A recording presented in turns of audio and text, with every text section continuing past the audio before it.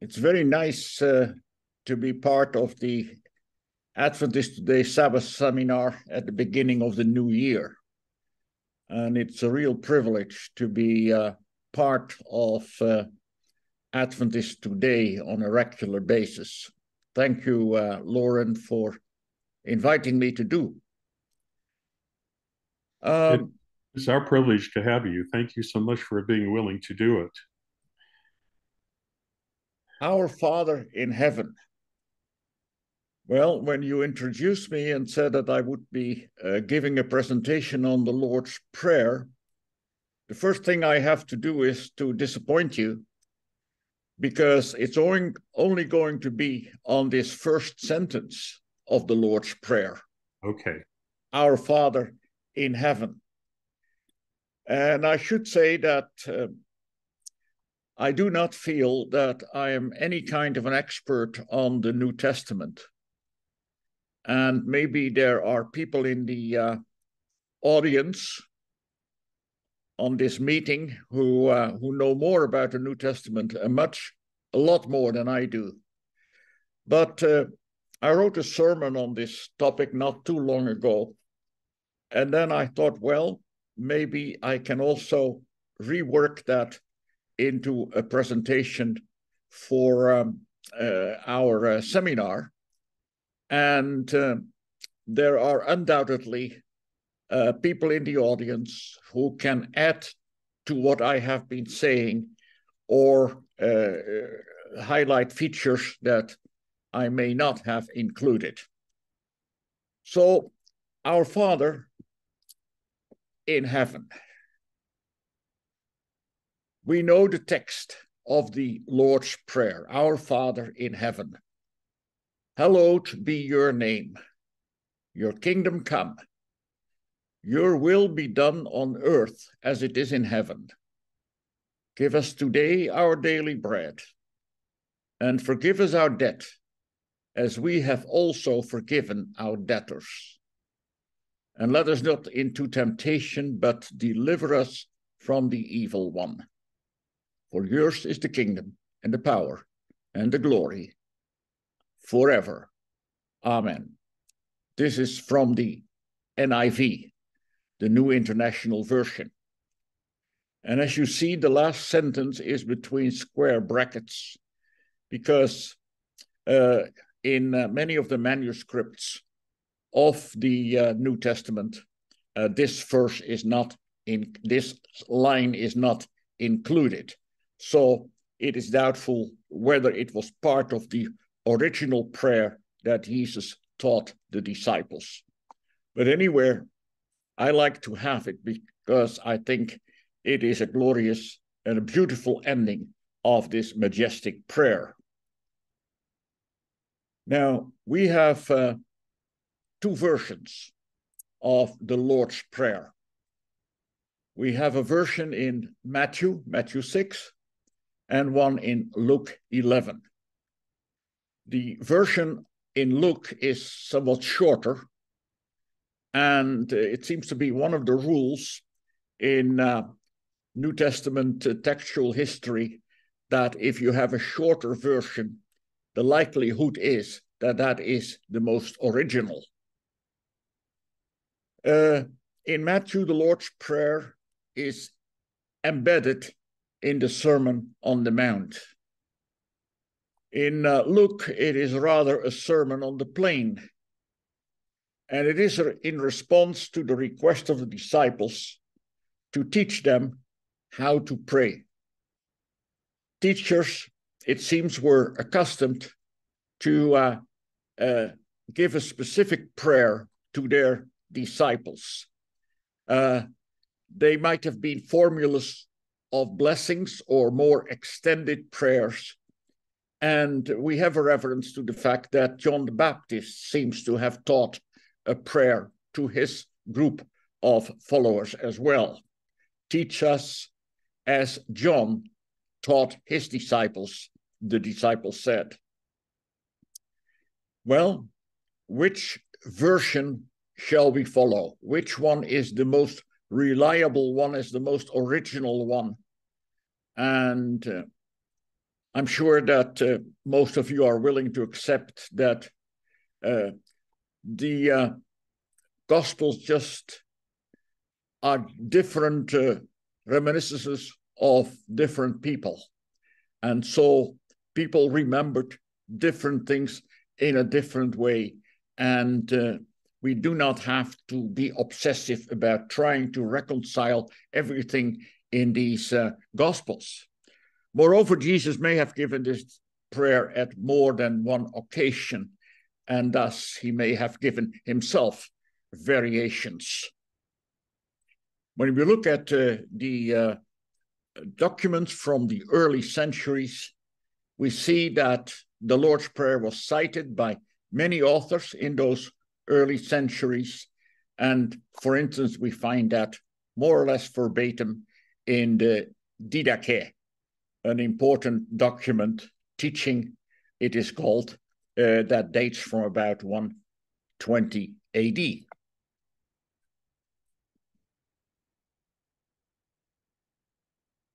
That it was a very special prayer is apparent, for instance, from one very interesting source, the Catechesis of Cyril of Jerusalem, a church leader in Jerusalem in the mid fourth century. And we see that the Lord's Prayer there had an important role in the preparations for baptism of uh, baptismal candidates and was part of the liturgy around the baptism uh, that took place uh, there in Jerusalem at Easter time. There were many preparations uh, before the actual baptism, fasting, prayers by the congregation, the believers. There were exorcisms and various other rites. And then the climax came on the Saturday before Easter Sunday as the candidates confessed their faith before the uh, assembled church. Then on Easter Sunday morning, or rather sometimes in the night, uh, the baptismal candidates were baptized by triple immersion. That was the practice there in Jerusalem at that time, and then anointed. They would then participate for the first time in the Lord's Supper. And the prayer after the Eucharist, after the Lord's Supper, would end with the Lord's Prayer, indicating that now the newly baptized were fully children of God and they were entitled to address God as their Father. How do we actually address God? Before we answer that question or go into that question, I would like to ask the question how do we address people? Now, in the English language, it is rather clear. You use the word you, and using the word thou or thine, etc., is old fashioned, and you don't do that anymore, at least. Uh, in other languages, that is not quite as obvious. There's also a difference between the United States and many parts of the world, there used to be at least, in the question who do we call by their first name? For many of us in Europe, in past times, it was somewhat funny to hear the use of the first name at almost every occasion in the United States. People would be called by their first name. Whereas in many European countries, that was not the case. That certainly was not the case in the Netherlands. When uh, uh, Aafje and I left the Netherlands in 1984 to go as what we called missionaries to go to West Africa. At that time, leaving the Netherlands, we would always be called by our last name. I was not Reinder, I was Brother Bruinsma or Pastor Bruinsma, but calling me by my first name, except by close friends, was not done. Things changed quite uh, suddenly. Uh, when we returned to the Netherlands about 17, 18 years later, well, we had been on some vacations, of course, but settled again in the Netherlands, I was surprised that now almost everybody called me by my first name. And no longer would I be introduced as a rule in the service as today Pastor Bruinsma will be speaking to us, but very often just Reinder will be speaking to us. It was something to get used to. At first, I didn't always like it, but there has been a very quick transition, and I'm not quite sure what uh, caused it from not using the first name to using the first name. Something similar also happened with regard to the use of titles. Now, in some countries, and uh, you, Lauren, who have German blood, you know that in Germany, the title would always be used uh, very precisely. You will be Herr Doctor, and uh, the lady the, of the house would be Frau Doctor. Uh, we uh, never had that very much in the Netherlands that we would be called doctor or whatever title we would have. And uh, nowadays it's rare to be addressed like that. Even people may be aware of the fact that you have an academic degree. But how we address people is very much dependent on the country we live in, the culture we have, and there are occasions when the address is formal, and there are occasions when the address is more informal. But for instance, in German, you still have a major difference between a formal and informal way of addressing people.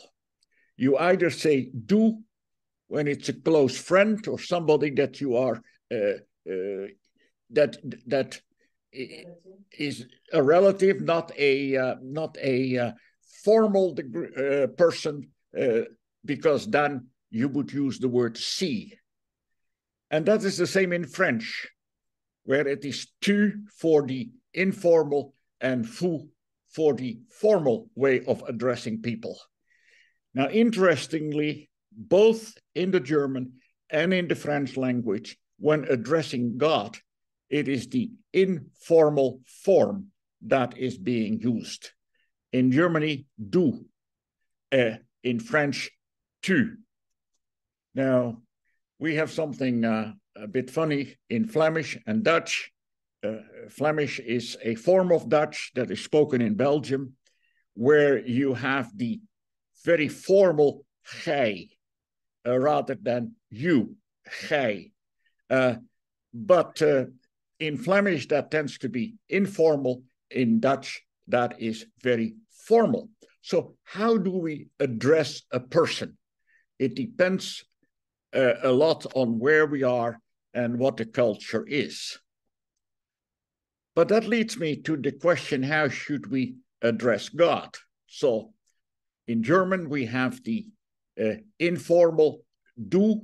In French, we have the informal tu. Uh, in uh, in English, you really don't have the problem because you have you. Uh, in the Dutch language, we very much have a problem because there is the informal jij or the formal u. Uh, how we address God is an issue that Bible translators have to deal with. In the past, of course, in English translations, you had the you or the thou, yours, and thine, etc. Uh, that has more or less solved it as language developed and the more formal, old fashioned uh, forms have disappeared from more recent Bible translations. Uh, the word Lord. Now, for you in the English speaking world, there is no problem. But in Dutch, there are two ways of writing that word, heer or here. And you can immediately see when you see the word here that you are dealing with a more progressive kind of Christianity, whereas when you see the word here spelled with first double E and then one E at the end, you can see that uh, that is in a very conservative, orthodox kind of setting. How do we address God? Yahweh, Jehovah. Of course, there's a particular group of people who uh, thinks that we have to address God as Jehovah, or do we use other terms like the one, etc., etc. But here, uh, today, we are focusing in particular on addressing God as Father. And I have put a question mark there. Is that how we can properly address God? If so, what does it mean? When we speak about God, then we must keep in mind that speaking about God is always a particular kind of speaking. It is using metaphors, it is using images, symbols. Speaking about God for us human beings is complicated. We have to use analogy. Human words get a special meaning uh, when they are dealing with God. But whatever words we use, they always fail to do justice to God and to who and what He is. Just words that we use routinely have a different meaning, uh, not a precise meaning when they are applied to God. Almighty, what do we mean by using that word when we ourselves are so limited in what we can do, in our power, in what we are? Eternal, what do we mean by eternal? We who are uh, just here for a short moment. Omniscient, omnipresent, all these words we use them to, to try to say something about God. But we simply have no better word. So that's the best we can do. But we know that is not really a precise way of describing God. God is more than these words imply. Language of faith always makes use of metaphors. Jesus, in his parables, that is, of course, a sublime uh, uh, example of how Jesus would use common words to as analogies for divine things, for things that were way above our understanding in our world. God is uh, spoken of as a rock, just to take an example. Of course, he is not a rock in the literal sense, but by saying, by, by describing God as a rock, we, we do get a sense uh, of the solidity of, of the, the, the, uh, uh, the fact that God is who he is. God as a shepherd. Course, God is not a shepherd in the literal sense, but that word gives us some kind of sense, some kind of idea of the, uh, the, the care that God has for us. And then there is, in the language of faith, the idea that God is our Father. Now, that raises immediately the question whether, if He is our Father, whether God can be spoken of as being male? Well, it's difficult because in the image of God, in the image of God, He created them. Male and female, He created them. Male and female apparently are both in the image of God. To say that God is our Father immediately raises this question then is he male, but also more than that, because we are created in his image, male and female. What we can say is that God is, of course, not our father in any biological sense, not in any uh, sense as we usually use the word father.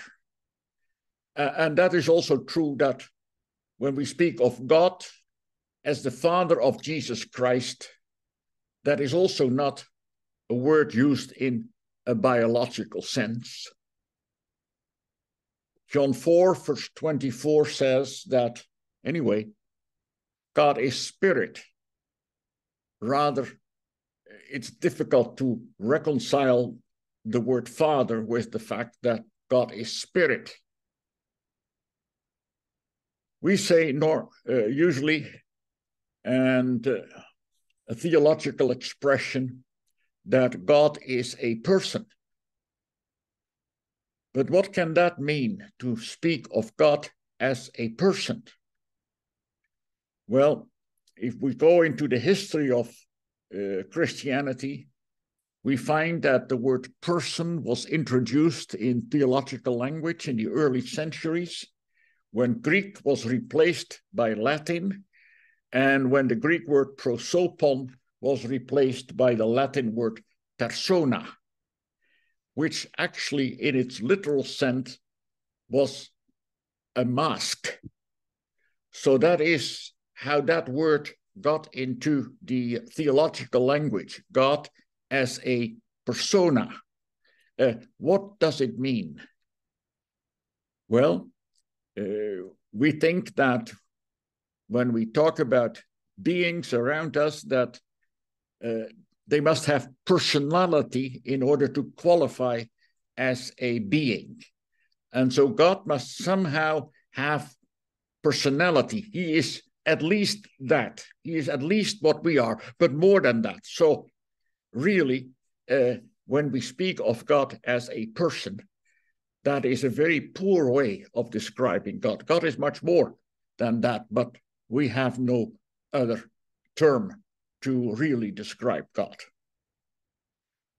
Justin Welby, uh, leader of the uh, Anglican Church, said a few years ago, we cannot confine God to a definition. God is neither male nor female. We do not do him justice when we apply such terms to him. So I think that is important to underline that whatever words we use to describe God, and if we are going to talk about God as a father, we can never do him full justice by applying these words, but we have no other words. So uh, we must make them as meaningful as we can. Many of you may have read the book The Shack Shack was written by a American author, Paul Young, and it's about a person called Mac who uh, suffers a tragedy in his life. His little daughter was abducted and then was found murdered, murdered uh, later in a shack.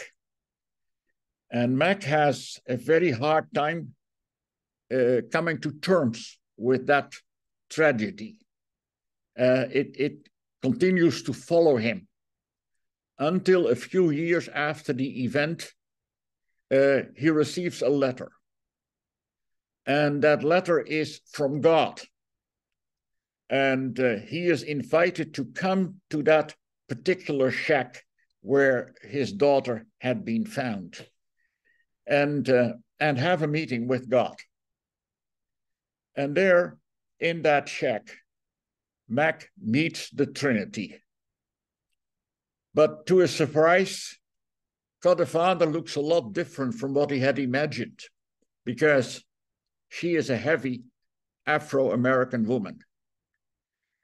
And God the Son, somewhat less of a surprise, but still, he is a young man with very clear Arab traits. And then there is the Holy Spirit, and she comes as a delicate girl with Asiatic appearance. So it's a very interesting book, by the way. It's well worth reading.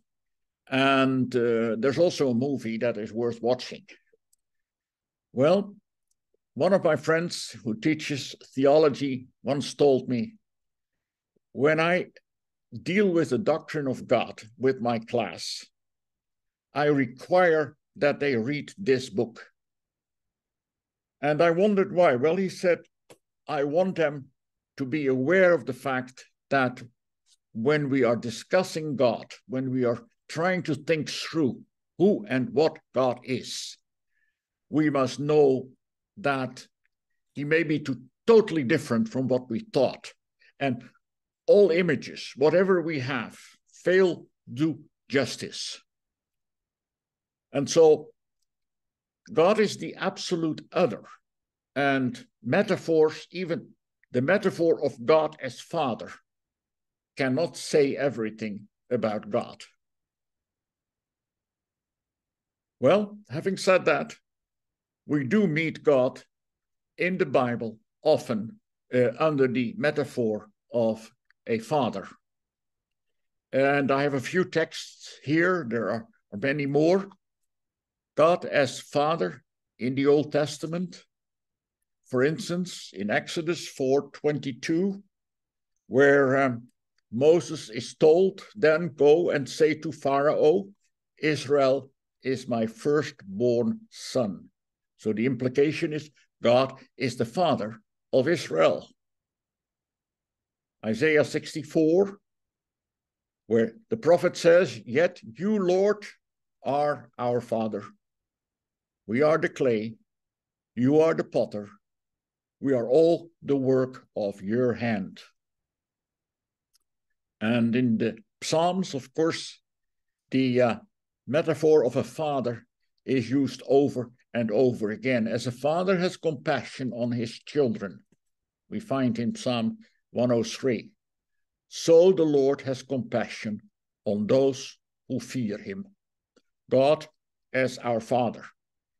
Often we find this in the Old Testament, but also in the New Testament. In Romans, the Apostle Paul says, The Spirit you received brought about your adoption to sonship. And by him we cry, Abba, Father. St. Paul said, wrote to the Galatians, God sent the Spirit of His Son into our hearts, the Spirit who calls out, Abba, Father. And Jesus, in Mark 14, he addressed God as Abba, Father. Take this cup from me. Both in the Old and in the New Testament, it is very often that God is addressed as Father.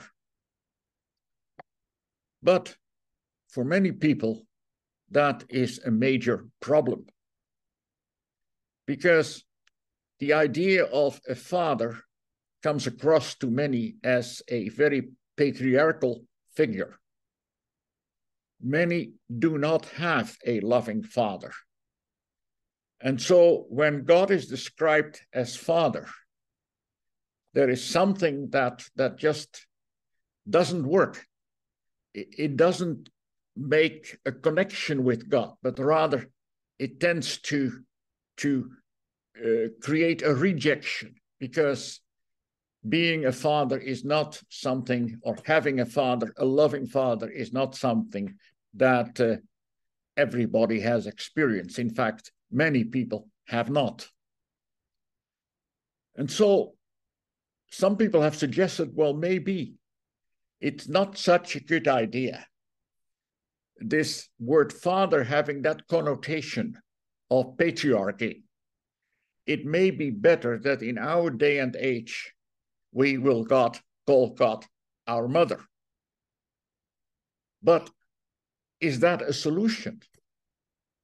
Uh, it may be slightly better. The the uh, the reputation of mothers may be slightly better than that of fathers, but uh, not everybody has a loving uh, and tender, caring mother.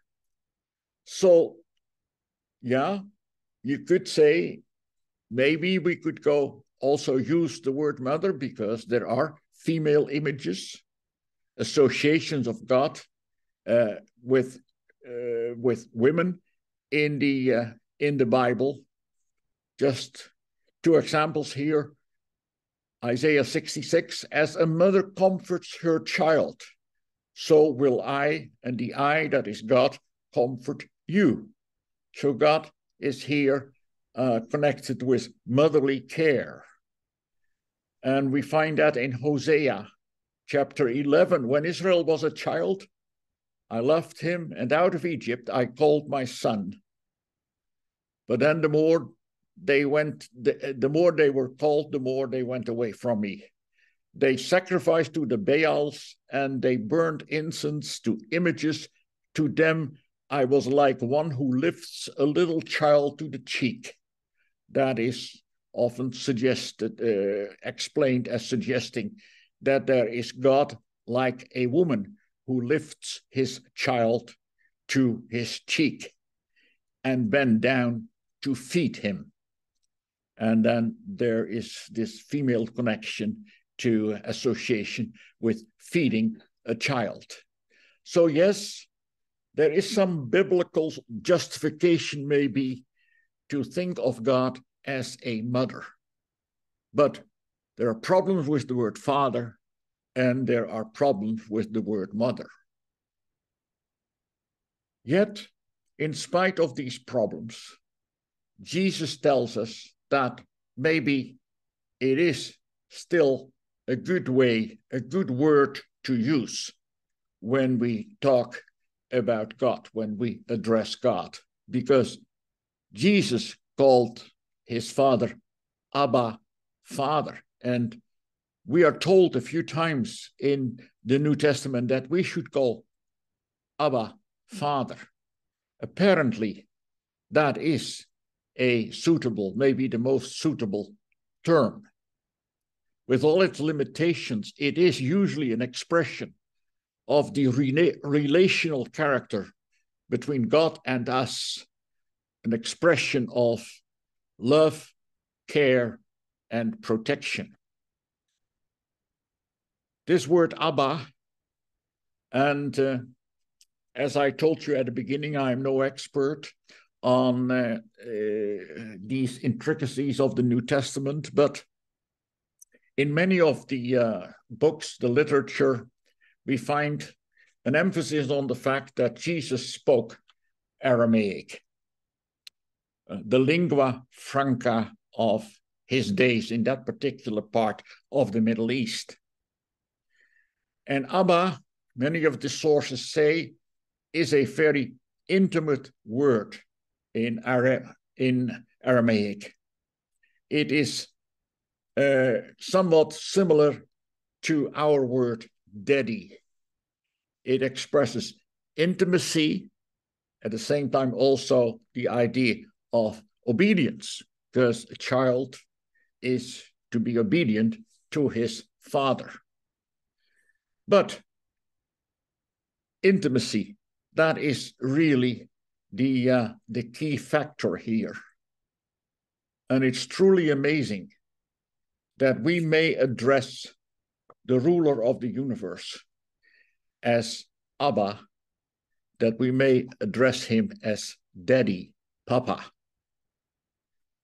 It includes, it implies that if we can address God in that way, then all God's children are our brothers and sisters.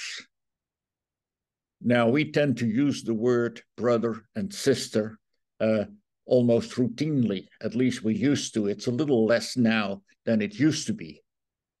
But to really accept our fellow believers as brothers and sisters, that is not always easy.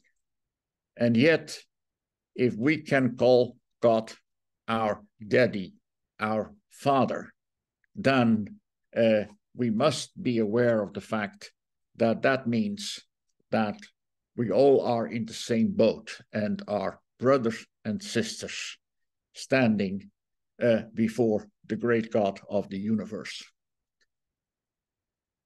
Our Father, our Father in heaven. Well, what is heaven? Actually, when we speak about heaven, there's also often the uh, uh, uh, plural.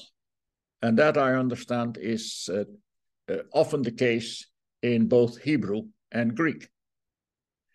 When God created the heaven and the earth, he uh, called the vault sky, we are told in Genesis 1, verse 8. And uh, in the King James, it is said that God called the vault heaven. That was a biblical way of speaking about heaven. The biblical view is often that there were three heavens the atmosphere, the space where the heavenly bodies move, the second heaven, and then the third heaven, the place where God lives. In Second Corinthians, Paul said that he was caught up to the third heaven, apparently the place where he believed God lived. Now, he had questions about that. He said whether that was in the body or outside of the body, I can't tell you. But somehow he was caught up, he said, to the place where God lived. Uh, Ellen White has a couple of statements where she uh, uh, looks at uh, the place where God lives, heaven, behind the uh, uh, Orion. Well, where is heaven? Where does God live? And you see, I've put the word live between quotation marks because, again, this is a very human way of speaking about God, that God lives somewhere. What does that word mean when applied to God? Does he live in a certain location uh, above us? When we think of God in heaven, we tend to look upwards. But of course, it depends on your place on planet Earth, whether you should look upwards or whether you should look the other way, uh, downward. Well, is God somewhere in space? Will maybe the James Webb telescope finally tell us where God lives, or maybe some other contraption that we invent in the future? Is God somewhere? Or should we rather think of a different dimension? Whatever we say, heaven is beyond our comprehension. And we speak of a place because we have no better way of expressing ourselves, but we must realize that it is a very human way of expressing ourselves. Maybe we can compare it somewhat to what we say. What do we mean when we say that God lives in our heart? Uh, that, of course, does not mean that God is in that specific location, that uh, particular muscle in our body. But yet, it's a very meaningful way of expressing that God is and is near us. Whatever. Heaven is a reality beyond the limitations of the time and the space of our created world. Our Father in heaven. There is a tension between those two elements our Father, Abba, and heaven. Our Father, Abba, God is very close. In heaven, God is at the same time distant, unspeakably far away. And somehow we need those two elements. And I hope that is something that uh, we may uh, explore a little further in our discussion. A God who is too similar to our earthly father will not do. He cannot lift us from our limitations. but at the same time, a God who is far away without this dimension of being close to us, being our Abba. With such a God, we cannot have an intimate relationship. A God who is only characterized by his heavenly stats. So these two elements, our Father in heaven, our Abba in heaven, there may be a tension. God is very close, God is far away. But in the prayer, Our Father in heaven, these two elements are somehow connected. And I would suggest to you that that is an important element in our attitude towards God as our Father, very near our Abba, yet at the same time also the infinite God, far away, who is the creator of the universe. In saying our Father in heaven, we bring those two elements together. Let me finish with uh, giving you the Lord's Prayer as we find it in the message. Uh, sometimes it's good to read something in a different version or even in a paraphrase.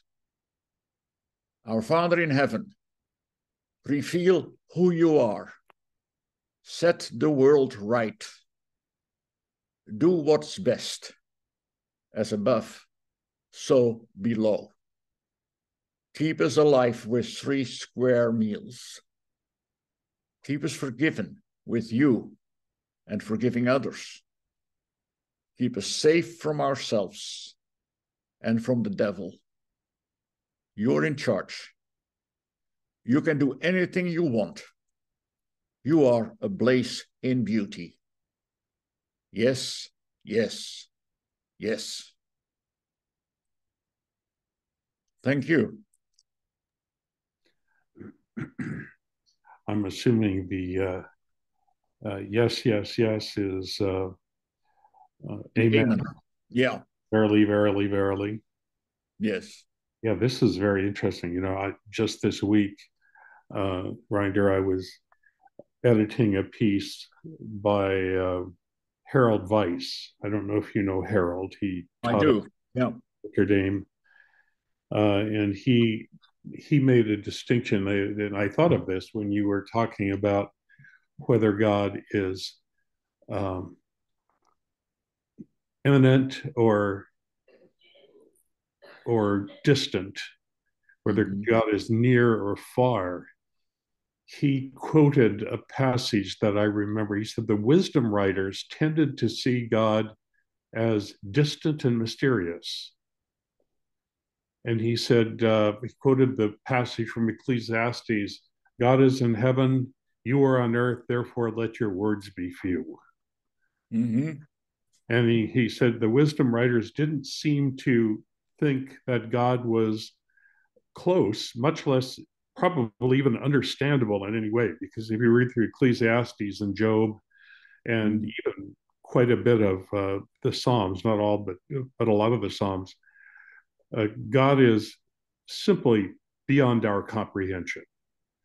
God is going to do what God is going to do, and it is none of your business to try to figure it out. Mm-hmm. And so the that that's that's what you put me in, in mind of as you were talking about that. Um, uh, Dr. Hemmings was uh, giving us some interesting things too. So I'm going to start with her here. Uh, I'm going to unmute you, my friend. Yes, I see there are 99 plus comments on the chat. Yeah, but you know, one of the problems when you are presenting is that you cannot at the same time follow the chat. That's so right. Please bring me up to date. Yeah, well, there's a there's a lot of discussion on uh, on, on, honorifics and uh, how we you you started talking about uh, ich, ich uh, what is it uh, du versus Sie in in German I mm-hmm. was taught to always address my teachers when I studied German always address them with Sie rather than uh, du. But when we talk to one of the other students, we and I th- this whole idea that that God is addressed in the familiar form in German and French that was new to me. I had never heard that before. Mm-hmm. Very interesting. Um, I don't know if I'm comfortable with that actually. Uh, but uh, Dr. Hemmings, uh, join the conversation here. Good afternoon. Uh, it's uh, Rain, Reinder. Uh, it's probably not afternoon for you. Thank you for your presentation. Right there, you had me there. You know, when you were, you kind of had me there when you were deconstructing the, you know, um, uh, sort of patriarchal images of God, but then you still held on to the pronoun his, you know, even when you're referring to God as, you know, in feminine terms, you're still holding on to the patriarchal language his and so forth. I do understand your drift. I know uh, you're trying to explain to us the immanence, the nearness of God and so forth. And I really, that powerful for me, however, as a feminist theologian, I still find it problematic when we cannot deconstruct the whole idea of God as Father. And the reason is this some people might say this is, you know, this is majoring in minors, but it is majoring in majors because language is a very powerful reflection of human formation and human understanding. And it's also a very powerful formation of human understanding. And so for me, when we insist on God as Father and God as He and Him, we continue to efface the image of God in womankind.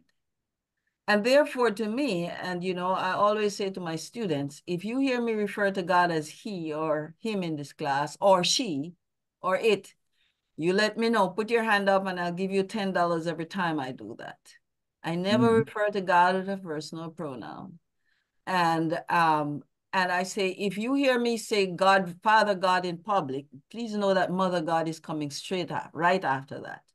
Mm-hmm. Uh, the point here is this when we insist on this male imagery of God, I think we're perpetuating a culture that consistently, in spite of our project, seeks to, you know, diminish womankind and, as it were, efface the image of God in womankind. So to me, this, you know, like I said, you had me there and I thought you were going to deconstruct the, the patriarchal language. And at the end, I'll think, you know, that God, you know, I uh, honestly, right there, and you're my friend. I cringe when people call out Father God. You know, I kind of cringe. It's not that I have a problem with Father God. It's just that I have a problem with this exclusive reference to God as Father, as though to say Mother God is some kind of heretical way. And people need to get used to also saying Mother God and she, you know, that we use the pronoun she as well for God. People need to, to become oriented into that, knowing that God is neither male nor female, as you rightly said, that God transcends these things. But mm-hmm. I'm saying if God is anything, if we use human language to refer to God, I think it needs to be inclusive. What do you think about that idea? Well, what do I think? Yeah.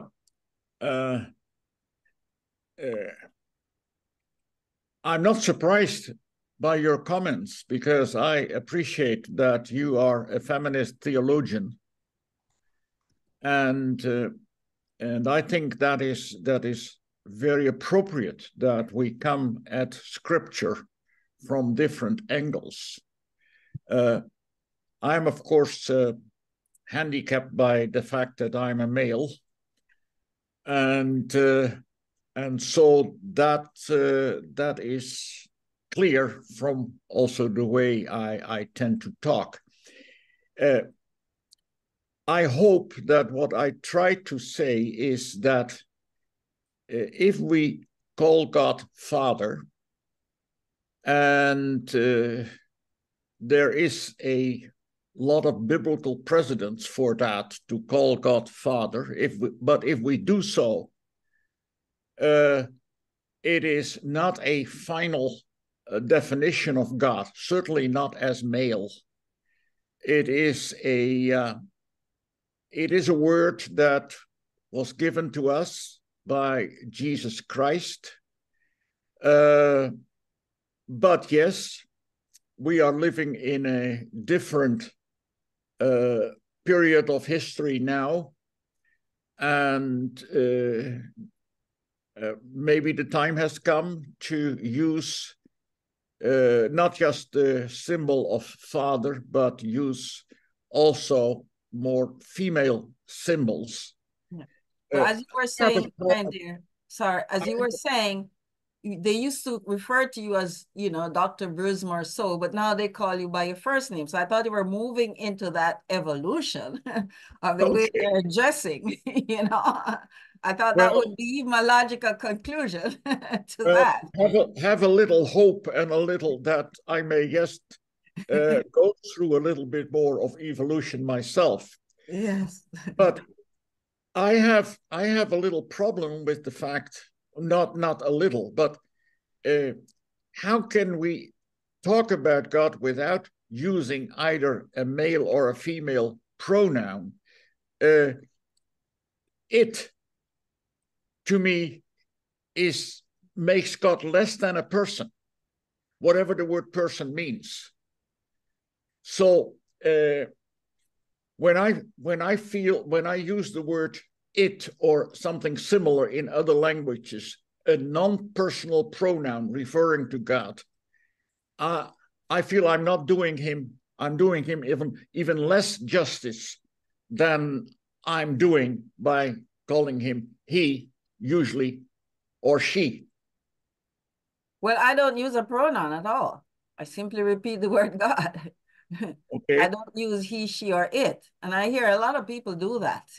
Okay. And uh, it's interesting to know that the um, Anglican Communion, uh, especially uh, uh where they're headquartered in, in Great Britain, that they are they are moving towards, you know, um, uh, taking, uh, not using male imagery to refer to God, more inclusive, inclusive imagery, recognizing how powerful the consistent, persistent male language about God, how powerful it is in preventing, you know, uh, the, the, the, the, full development of civilization will regard women as actually equal representatives of God on earth.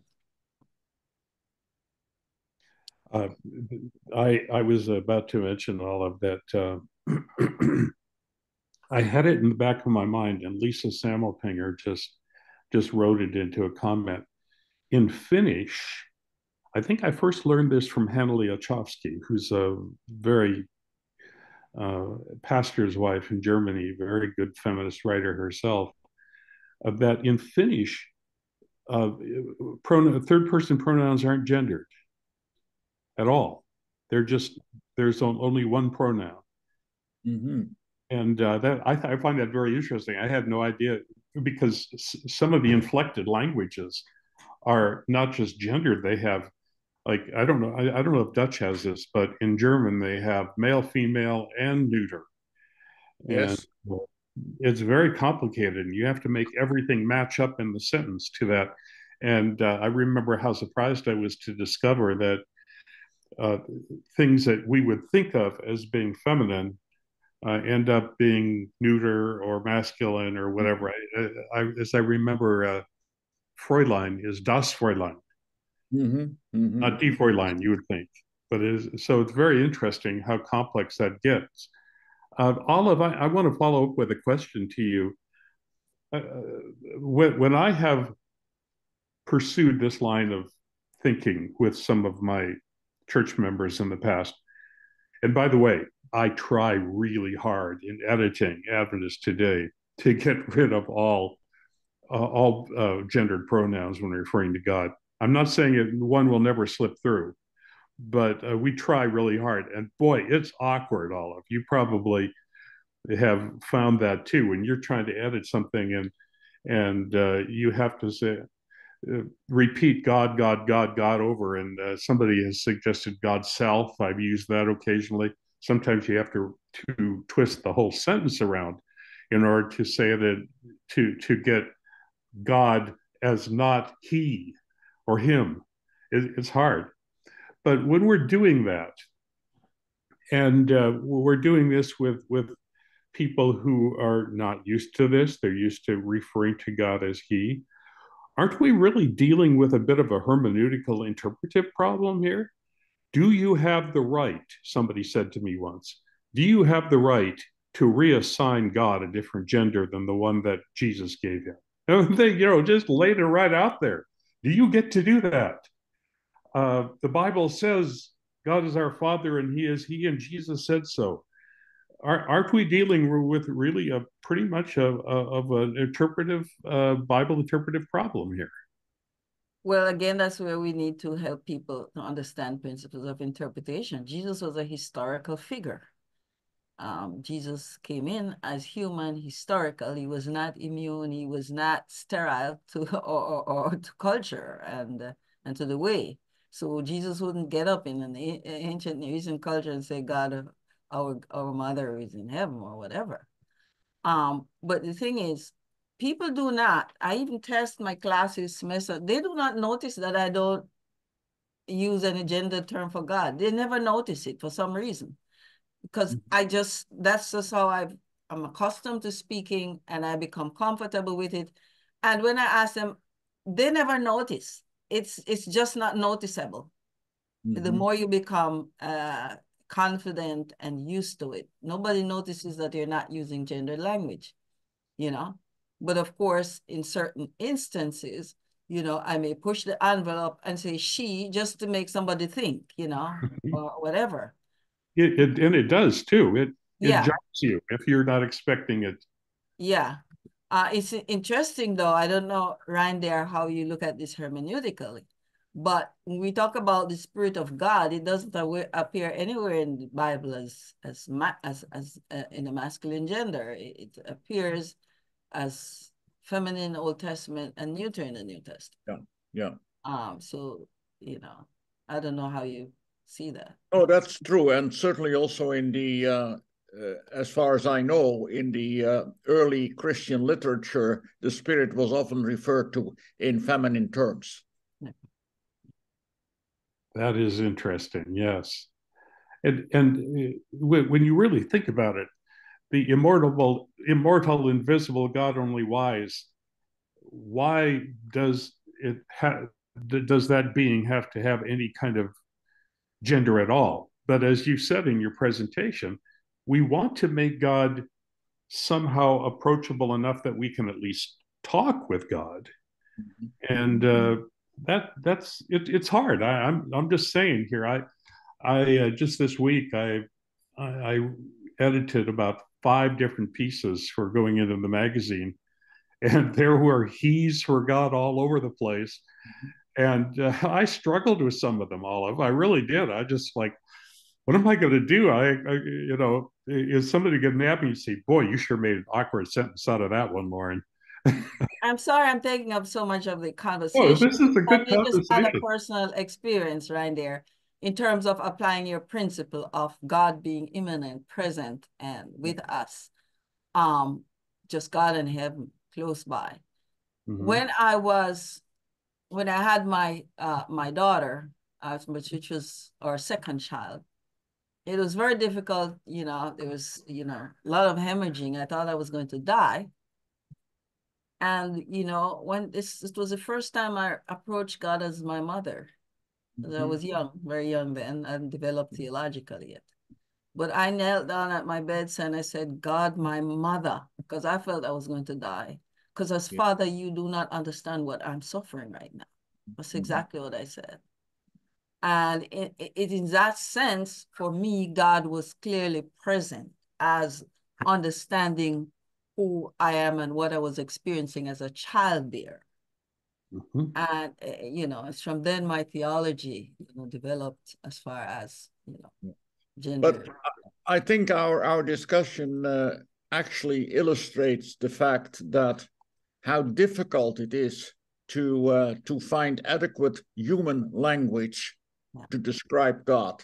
This is part of the struggle that we have, and uh, the, the the bottom line, I think, is that we must be aware of the fact that all our speaking about God is so limited, and all our doctrinal understanding is so limited because we only have our own words.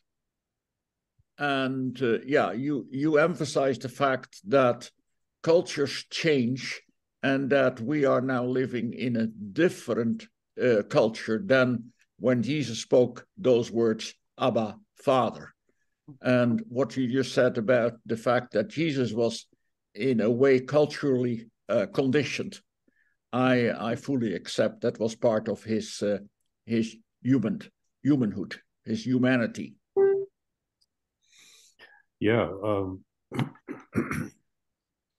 I, I was uh, also working on an article this week about uh, about Arius, who thought that uh, Jesus was uh, just ha- a man who happened to be adopted as God's son. I thought that was pretty interesting too. Uh, uh, Terry, Terry joined this conversation. How are things out on Whidbey Island? Oh, pleasant. sun shining today. Oh my! but not bad. I was going to comment that anytime we anthropomorphize um, onto God characteristics of any kind, they're going to lead to misunderstandings. I mean, because God is not us. Christ came to show us the way. And clearly, I think, showed us and taught us and lived his life in a way that indicated that that way was going to be easily recognizable to the world. But it wasn't a person. It was a way to live. And I think we could have learned something from the Tao Te Ching in chapter one. Because when we try to define what God is rather than what the way is, I think we miss it. And in that in that uh, in that writing from ancient China, we have a lot of stuff that's very compatible with Christianity. But we went our own way, and I think it was primarily because we wanted to carry on the characteristics of a male god, which involves and includes violence. So we kept the male god because it had violence in it. Mm-hmm. And with all due respect, I think even in the the uh, matriarchal societies, they even had some violence. But I think that if we confine our view of God to what Christ represented, then we see that it is not male or female. It's not Jew or Gentile. It's not right or wrong. It's whether we have love in our heart. Hmm. Okay. That's there isn't a there isn't a clear black and white choice. And mm-hmm. we separate all of these characteristics by ma- male and female. It's just not it's going to be a problem forever if we don't get out of it. And I think the world, knowing what it knows about the extent of the universe and how far it has gone and how well hidden whatever God is is, that they'd be more interested in the love and the the way than in some specific theology or belief system. You know, I, I, I jumped onto one part of what you said, Terry, I, I hope I, I'm I'm I'm not I don't want to get away from that that concept of this is a is a is a way a system rather than uh, anthropomorphizing God. But Reinder, this this part jumped out at me. Are we somehow hooked on a strong God? And that's why we make God male and make him a father and make him a general in some ways. Uh, you know, that this the, uh, back in the uh, early 20th century, there was a in the late 19th and early 20th century, there was a, a movement to not have a feminized God, mm-hmm. to have a, a robust, strong, masculine, uh, maybe violent even yeah. God. And they would picture God with big muscles, uh, Jesus, big muscles. And uh, yeah, that's that, that. I think that's a really good insight. And I, I, Terry, I see it more in the Old Testament than the New Testament. But uh, you know, there, there, there's a certain when I've been involved in uh, few times I've been involved in men's ministries. Uh, there, there's a, a, sort of discomfort in the room when they, when they kind of talk about being gentle and kind. Men want to be strong and masculine. I don't know, Reinder. Jump in here. Well, it seems that that has been one of the uh, uh, things that are associated with uh, with fundamentalism. Mm. This idea of the strong, the strong God, but uh, what I had hoped to underline in uh, uh, my uh, my presentation is that all we say about God is human talk. Yes. But uh, that does not mean that it's totally meaningless. Uh, it is the only way we have about talking about God, but and that is true when we also, I believe, uh, formulate our doctrines. Is that when we have said mm-hmm. something, we need to take a step back and say, well, yes, yes, yeah. This is what we think at this moment. These are the words that we have, but God is greater than that, and so we have to take a step back and uh, and see that is always work in progress when we talk about God.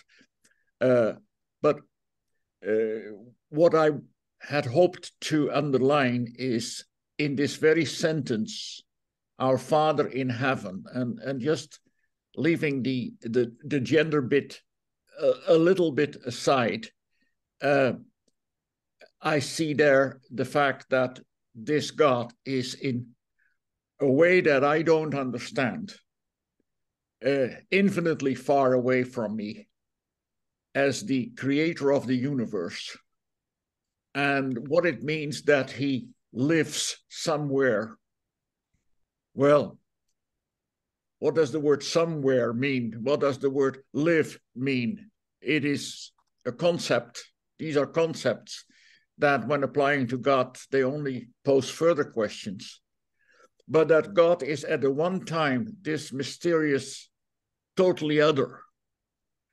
He apparently is at the same time uh, someone, and again, that is a word that I use advisedly, but uh, who is uh, very close, uh, and we can sit, as it were, on the lap of the uh, ruler of the universe. Those those two elements are true of God at the same time, and that makes it worthwhile also to to worship this God. If he were only totally other and had no uh, real intimate tie with me, then uh, that would not be a God uh, that would uh, really satisfy my need. Uh, if he were just my buddy, very close, daddy, whatever word, uh, that would not be sufficient either, because God needs to be greater than that. So this is something that that I read in that in that one short sentence.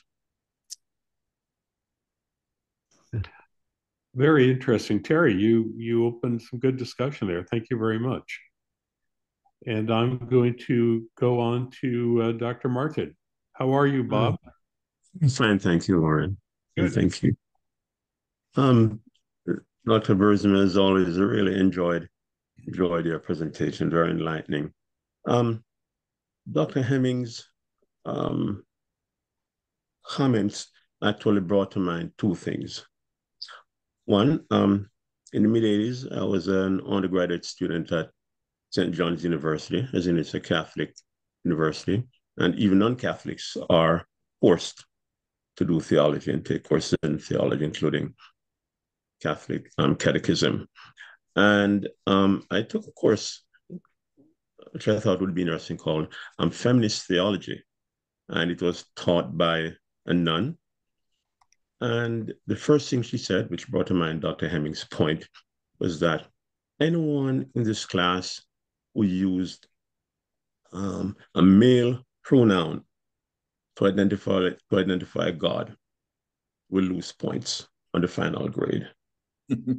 and now I think about it, it was pretty um, um, thoughtful of her because this was in the mid 80s where and um, see how progressive she was in that regard in the mid 80s.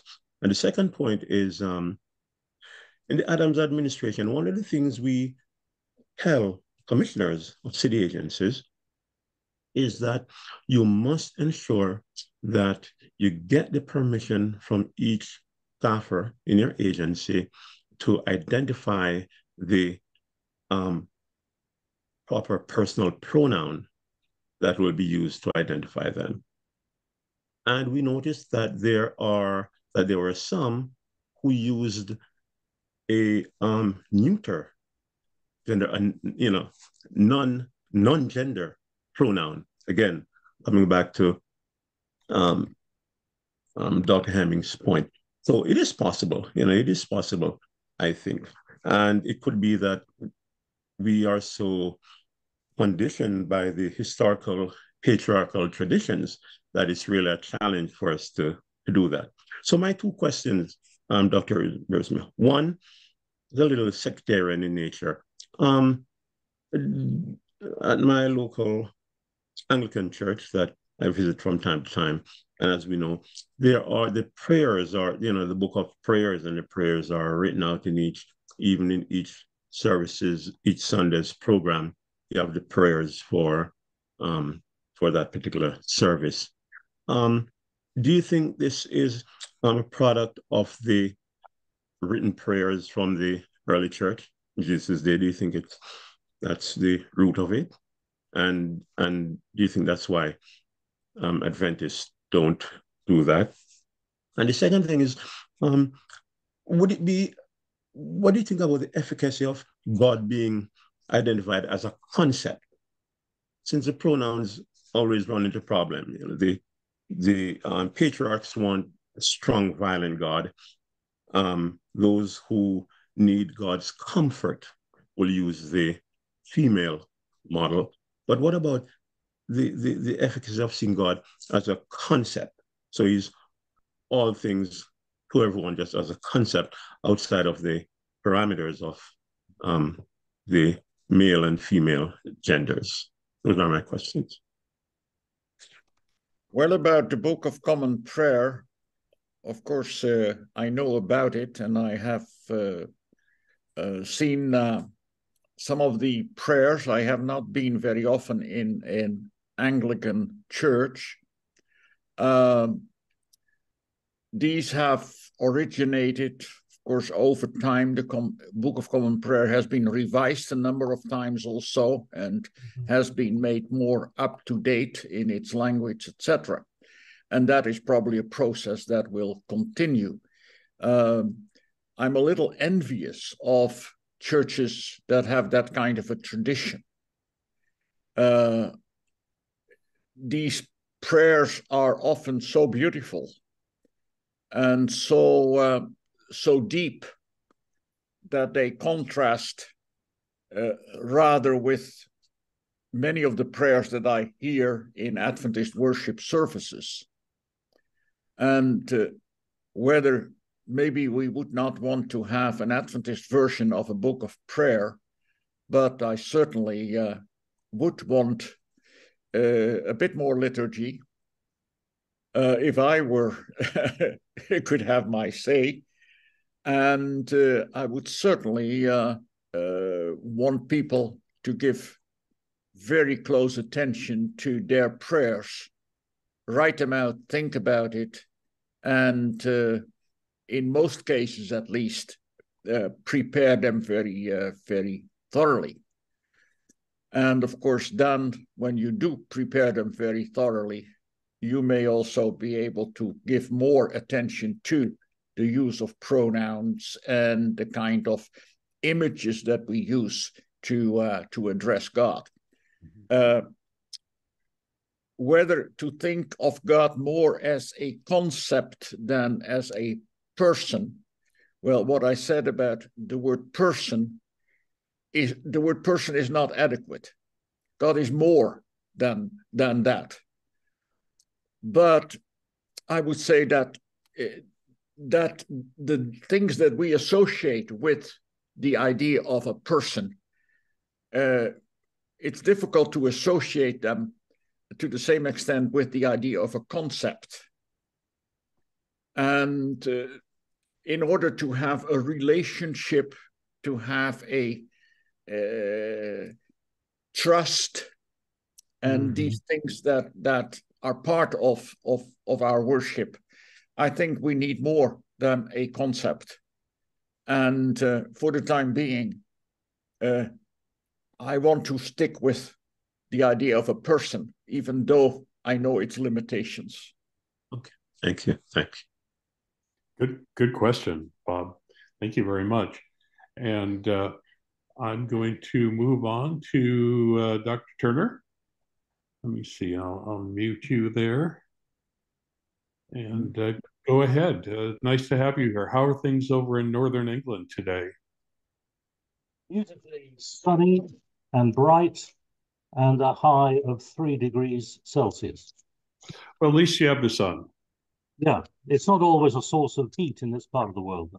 Understand. Uh, here in Ohio, we have uh, we have almost all winter. It's it's kind of rare to see the sun. We have gray, gray, gray weather. It's very tiresome. Uh, so I'm I'm envious. And you have a lot of water, Lawrence. Lots, yes, lots of localized flooding. Yeah. Yeah.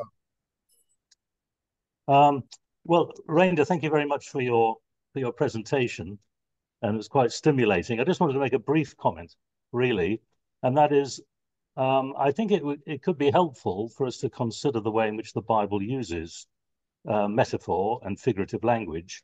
Um, for example, just take uh, the book of Hosea. Um, Hosea uses more metaphors for God than any other biblical author. So in the, in the scope of that one book, he uses, I think, it's at least 40 different metaphors for God. So God is a husband, a father, a farmer, a lion, a leopard, a mother bear, and, and so on and so forth. He goes through numerous of these, uh, these metaphors. And yet he also says something else. Uh, he has God saying, I am God and not human.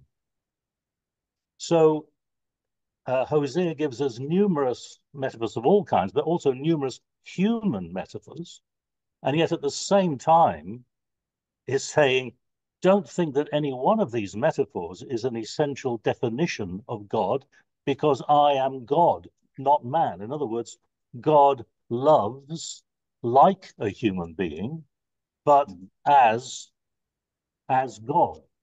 So perhaps one way of looking at this is rather than asking what approved vocabulary can we use to talk about God in worship or elsewhere, to open the gates and say, use your imaginations to think of analogies and metaphors for God that do him or her justice um, because I think I'm with you. I think if we move towards conceptual ideas or never using or never using personal pronouns, perhaps, then it diminishes the, the personality of God.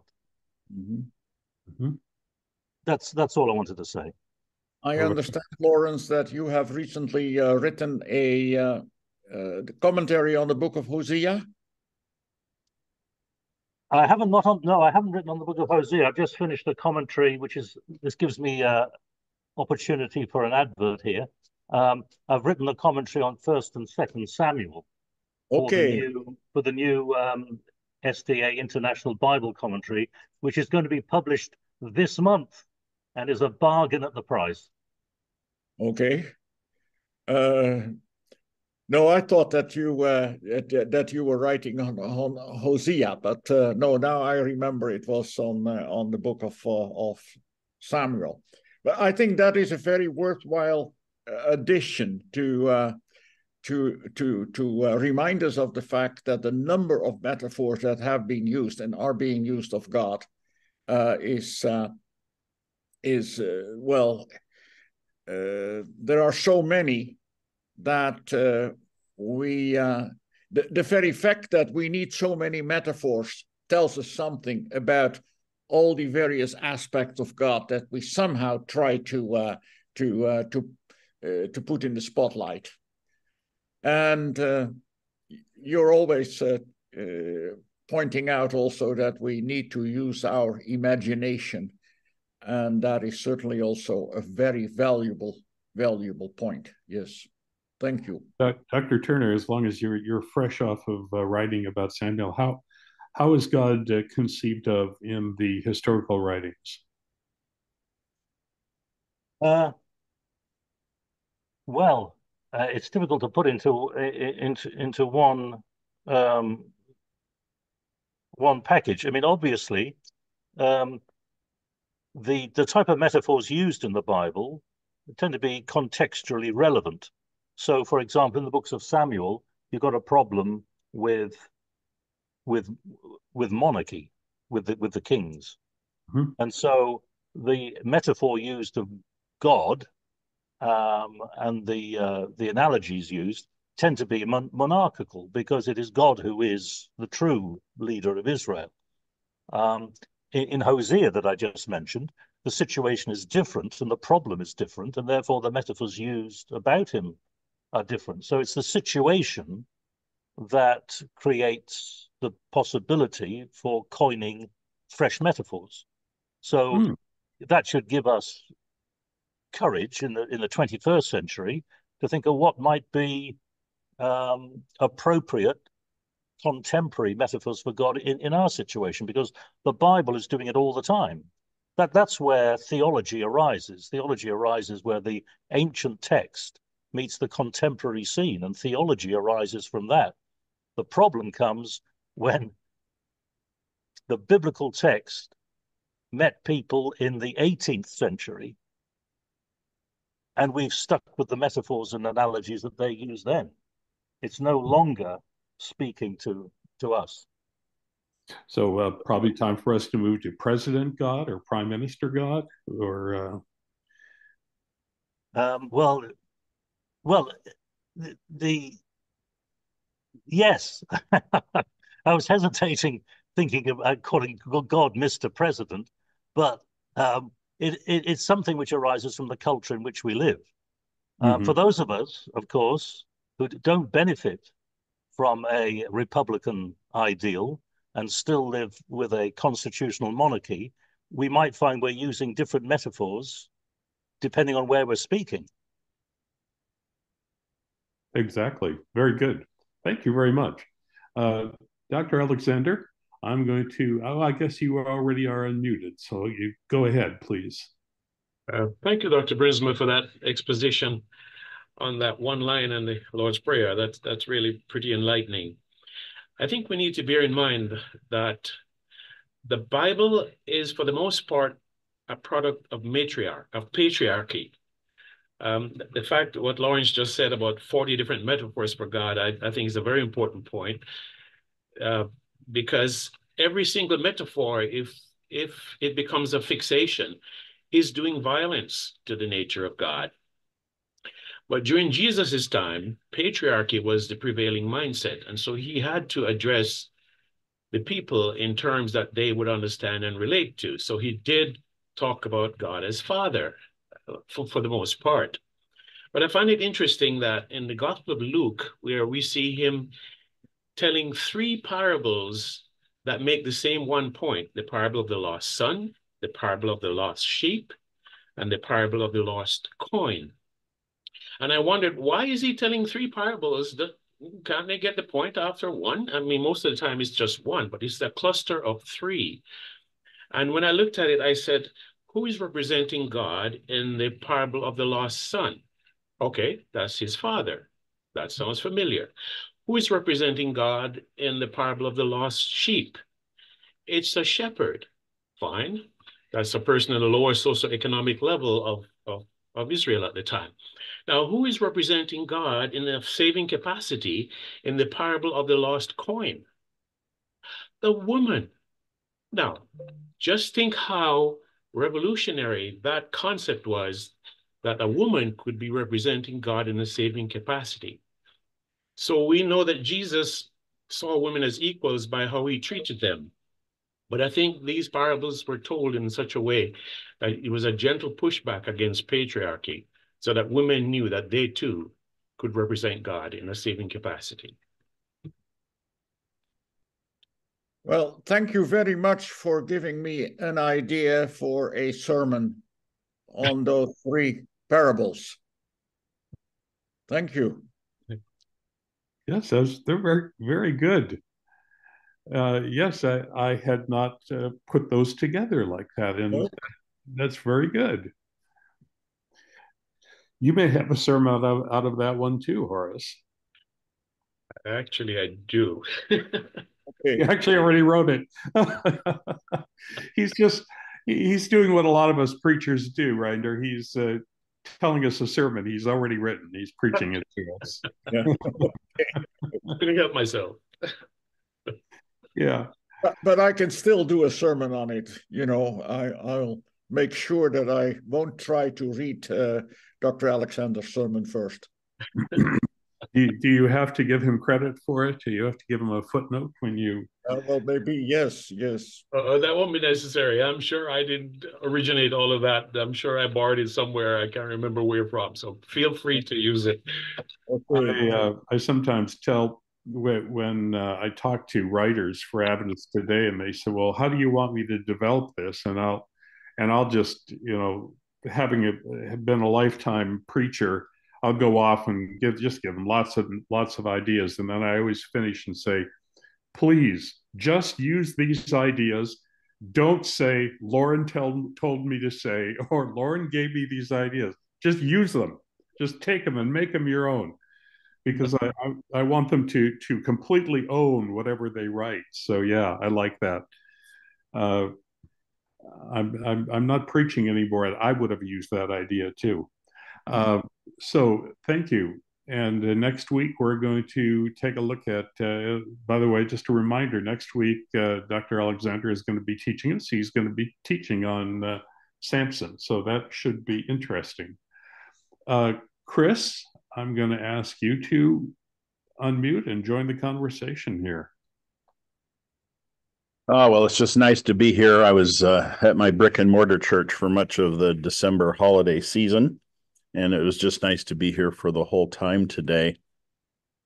Uh, Dr. Bruinsma, um, I'm going to just steer away from the Our Father part and to in heaven part. Um, and I've just enjoyed, you know, being in the chat. Like I frequently type too fast and way too much. Um, many are probably weary of my my uh, drivel in the chat, but um, we often think of heaven then as a as a physical place just as god is male heaven is a walled city much like jerusalem was. The the new jerusalem will mirror the old jerusalem with parapets and stone walls and gates that open and close and there was a comment in the chat about we think of god as having a, this physical reality that we would be able to go up to him and look him in the eye, anthropomorphizing God again. We would hold his hand, we would hug him, we would uh, embrace them. We can walk with God every day. We use all these terms that are based on our own physicality. Uh, my question is what uh, what physicality is there or is there not in terms of heaven? When I go up past Orion, as Ellen White says, I will on the resurrection morning, and I will meet my deceased family there. How is that gonna how is that gonna work since our spacemen need oxygen to even orbit the earth and things like that that's that's kind of my question as to how do the laws of of humanity get suspended when on the resurrection morning I head into outer space without rocket power or anything else. That seems like a bit of a pipe dream and maybe just a fairy tale. Um, how do we talk about that in our current context? Well, when we describe uh, heaven as uh, with a lot of physicality, to use that word, uh, then many of us need that in order to have some idea of what is awaiting them. And without that kind of uh, concreteness, they would be lost. Uh, others uh, feel that that concreteness is actually a barrier to their faith in the hereafter. When I think of the New Jerusalem with streets of gold and the things that are described there, then uh, I think, well, I think I prefer Amsterdam to the New Jerusalem. Uh, but too much concreteness for me is actually a barrier. Uh, the thing is that we cannot think of, at least most of us, I think, cannot think of the afterlife unless there are some concrete aspects to it.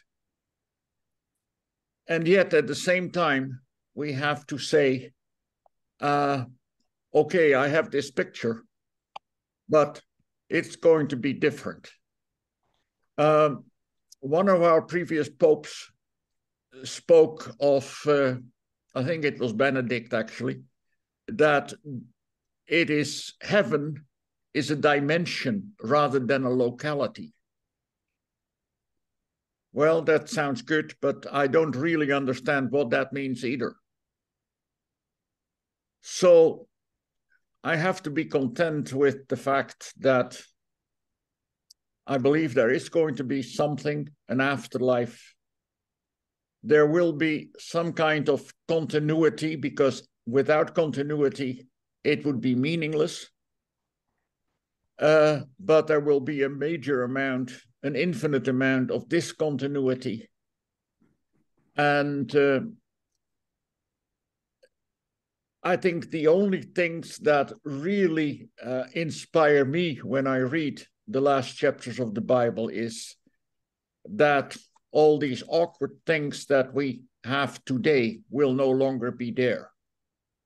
Uh, disease, uh, death, uh, evil people, it's no longer there. So that is the picture of heaven that uh, that I find attractive. And uh, uh, but as far as the physicality of it all, I have more questions than uh, than I can ever answer. I I think when you consider the Lord's Prayer, and we turned it into not a model prayer, but an actual prayer to pray, word mm-hmm. for word, from whatever version of the Bible you memorized it in. I think that's one thing we did. And a second thing is to discuss the inadequacy of language, as we've been talking about. God as Father, Mother, yes, both. Uh, I like the hymns where it says uh, in O Sacred Head Now Wounded, What language shall I borrow to thank thee, dearest friend. I, my language is inadequate to thank the God of heaven for doing what is revealed for the message of salvation, or the song, Oh, for a thousand tongues to sing my great Redeemer's praise. We realize our language is utterly inadequate. How do we define the infinite? We simply create 40 metaphors, and even there, we've just scratched the surface, as you said. So it's nice to like Ecclesiastes say, sit down, like Job, the end of Job. Job sat down and he zipped his lip, stopped talking about God, and just let God talk to him. There's an idea. Um, and and I think it's just good to sit down and say I don't have all the answers. I can't codify it into my 28 fundamental beliefs. I would need 28 bazillion ideas to understand the infinite one that is out there. So thank you for today. Yeah, and there's another sermon there for me. Thank you. Yeah, yeah uh, you, you sound you sound a little bit like the uh, the preacher of Ecclesiastes. God is in heaven, you are on earth. Therefore, let your words be few. And there's a time for that too. Uh, you know, it reminded me, Chris, of a joke I have used, a mildly funny story I have used in sermons where the man insists on taking his suitcase full of gold to heaven. Love that one. And uh, he gets there, and St. Peter says, uh, Glad to have you here, but uh, why did you bring your own paving material? Mm-hmm. You know, it's, it's a, I, I've used it in a sermon a time or two, and it's it's kind of funny. But in I, fact, uh, if you really think about it, gold would not make very good paving material, would it? No. Here's a wonderful joke I heard off of a podcast. It's a a man who's a preacher. He goes to heaven, and Saint Peter is there at the gate and says, uh, "Well, you how what what do you have to merit you to come in? You apparently." He looks him up on his clipboard and says, "You need a you you apparently need a hundred points." And the man says, Well, I was a pastor for 40 years. And so St. Peter says, Okay, one point per year, that's 40 points. What, else have you got? Well, I I fed the homeless on on holidays. Okay, how many holidays? That's one point each. Uh, you know, seven.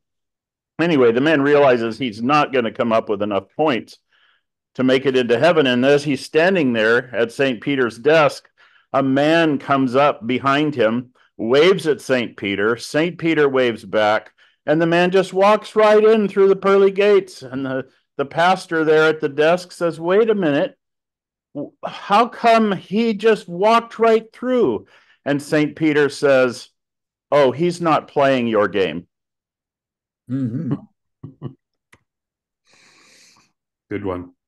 Beverly, so nice to have you here. Where are you from, Beverly? Well, I'm in New York. I'm in uh, Westchester County, New York, Northern Westchester, uh, okay. in New York, and I've been really enjoying the uh, the conversation but at the risk of uh, beating a dead horse uh, with Dr. Brinsmar, I'm not forgive for not pronouncing it correctly. Um, you you spoke about you know obviously the model prayer that Christ gave to his disciples, and it began with "Our Father," and you know talking about this whole gender descriptor, which you know I I certainly embrace, but how do we beyond having beyond um, a an explanation that well Christ used the term our Father because of the place and time and context within which he lived, and that's what the the, the disciples would re, would receive and understand. At least that's you know how I I would how I would grasp it. Many of many of um, us as Adventists and other elements of, Christi- of Christendom and certainly in uh, uh, uh, fundamentalists, uh, they will say, well, you know, they're very literal in their understanding, extremely, extremely literal. So if it says our Father, they can't move past that. So I'm wondering what would be some possible other explanations or understandings that could be shared to help to reach people like that who are kind of stuck. Well, you know, Jesus did say our Father, and that's our template um, uh, prayer model. And it starts with our Father. So, you know, God is therefore of male gender. I don't know how would we address the, those types of limited arguments as they yeah, well, as limited as they are. May, maybe to those people who have that mindset, it, it, it might be best to uh, to continue using the father metaphor mm-hmm. and at the same time try to do something about the uh, the the way of thinking that is behind there and and help people understand that uh, words even though we find them in the Bible, fit into a certain culture, and that there is a different approach to scripture possible that will actually uh, uh, be much more meaningful for today's generation. So uh, I think that larger uh, issue uh, needs to be addressed, but that is not uh, done in one sermon. It's not one done overnight, but it's something that uh, that maybe a local church has to work on harder, uh, or you know maybe it's too much to hope that the de denomination as a whole will make uh, more progress uh, very very quickly. But certainly, I think uh, a pastor in a church or a faith community in a local church uh, can try to move along that way and uh, and then uh, help with seeing that the Bible has this cultural and temporal aspects and that there is more meaning behind there if we if if we can see that Yes, very good, Beverly. Uh, yeah, it you know it, it occurs to me, uh, Reinder, that uh, beyond the uh, gender aspect, and this is something I'm sure Olive has wrestled with at some point along the line. A lot of us grew up with God as a uh, Sallman's head of Christ, uh, a good-looking white man with blow-dried hair up in sky. You know jesus jesus looked like that and so god is kind of somehow a, a, a, big white man too. And all of those those things could be reconstructed in some way. I mean really i, I remember the first time I, I saw a, a bible that had pictures of god as a dark-skinned man. It was kind of jarring to me uh, and uh, I had to readjust my thinking. It was very good for me to do that. But there's all kinds of ways in which our pictures of God probably are uh, restrictive to us. Mm-hmm. So I really pre- this has been a very good conversation, and I'm going to uh, my my colleague. Well, he was Steve Siciliano was my colleague. He was a fellow pastor and now he's moved into the conference office and i don't even know how to address him anymore he's uh, he's way above me at this point i i never got to be a conference officer so Very Stephen, funny. Uh, yeah. Stephen, I'm just glad to have you here, my friend. My preferred uh, uh, label is Stephen, so you already got that right. All right. And, uh, yeah, I'm happy to be here today. It turned out that I was not scheduled anywhere else and I kind of waited and then I said, let's just take a day off. So it's the first time I'm able to join in a long time. So it's nice to be back. Nice to see you, Dr. Brownsma, too. I'm glad I arrived on one of your days. Um, I, I suppose I'm not the only one that sees that there's a commonality between two of the topics that have come up about how to conceptualize where heaven is and how to understand God the gender of God, if there is such a thing.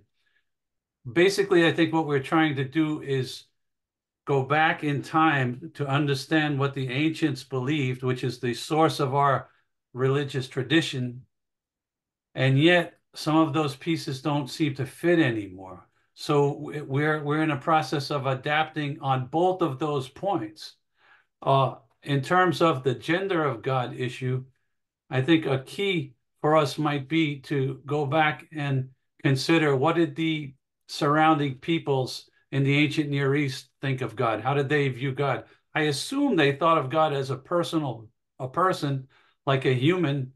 They may even have thought of, uh, if they thought of one God, they may have thought of, uh, of God as a male. Although I think they, in a polytheistic society, they probably had multiple gods. But in any case, we're adapting something from two and 3,000 years ago into our own setting. And in terms of the heaven, the location of heaven, you have to, we have to do that. We don't live in a three tiered universe anymore. You know, so both of these things are matters of adaptation from the ancient worldview to our own. Mm-hmm. And, and in the case of the cosmology, we're forced to do that. So that leads then to the other question, maybe the more touchy one for us Adventists is, are we allowed to do that? Or are we stuck to what is called the quote unquote biblical worldview?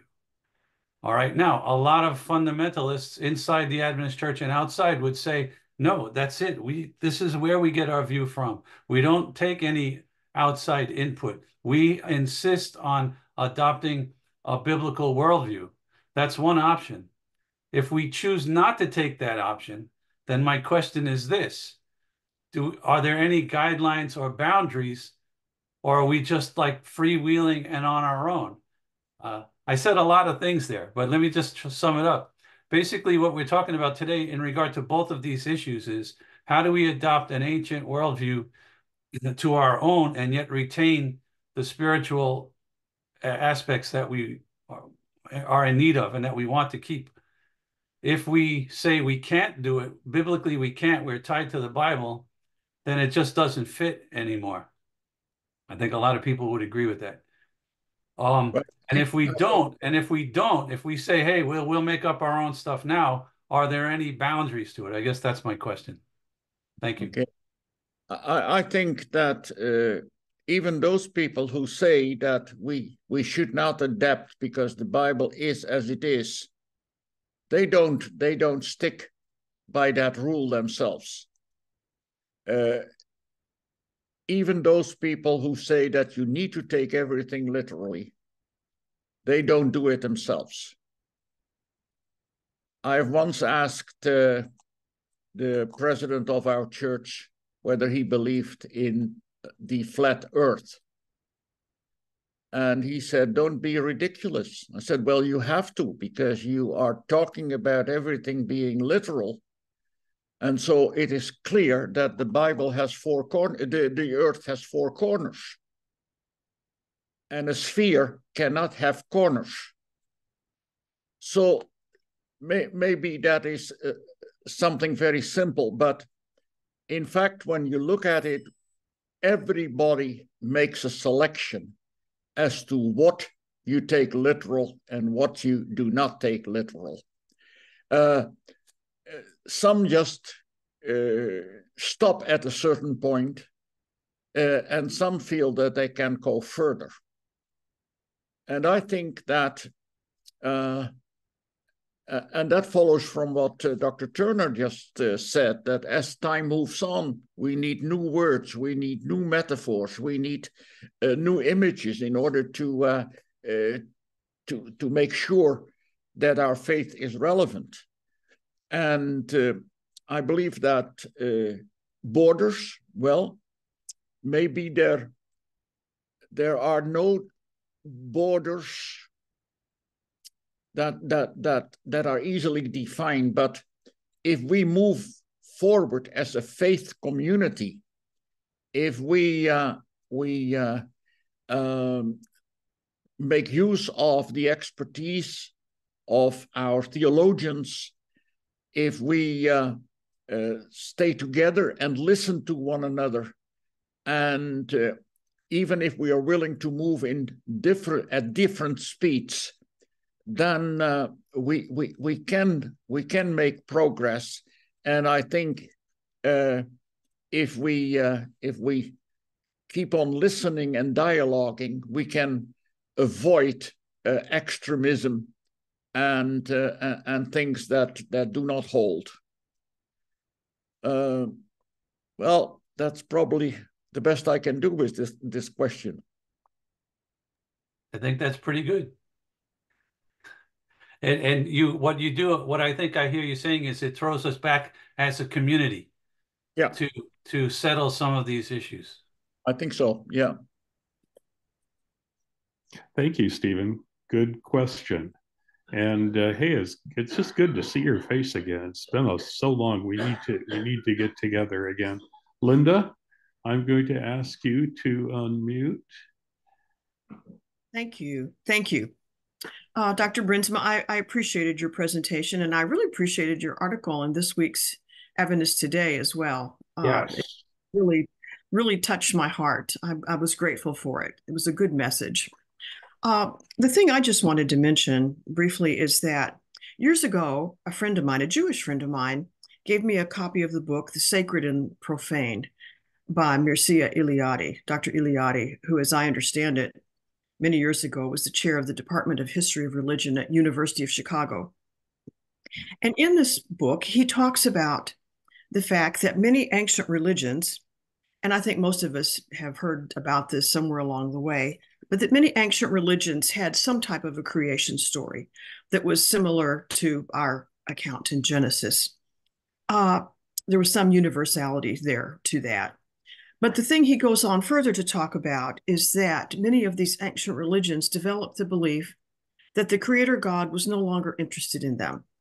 That uh, I'm going to use the male pronoun because Dr. Eliade did, that he was bored with his creation, he was disinterested, kind of wanting to move on to other things, and was not really available to the people here, which is why they invented intermediate gods that were more readily uh, uh, accessible to them, like a god of fertility, a god of harvest, god of rain.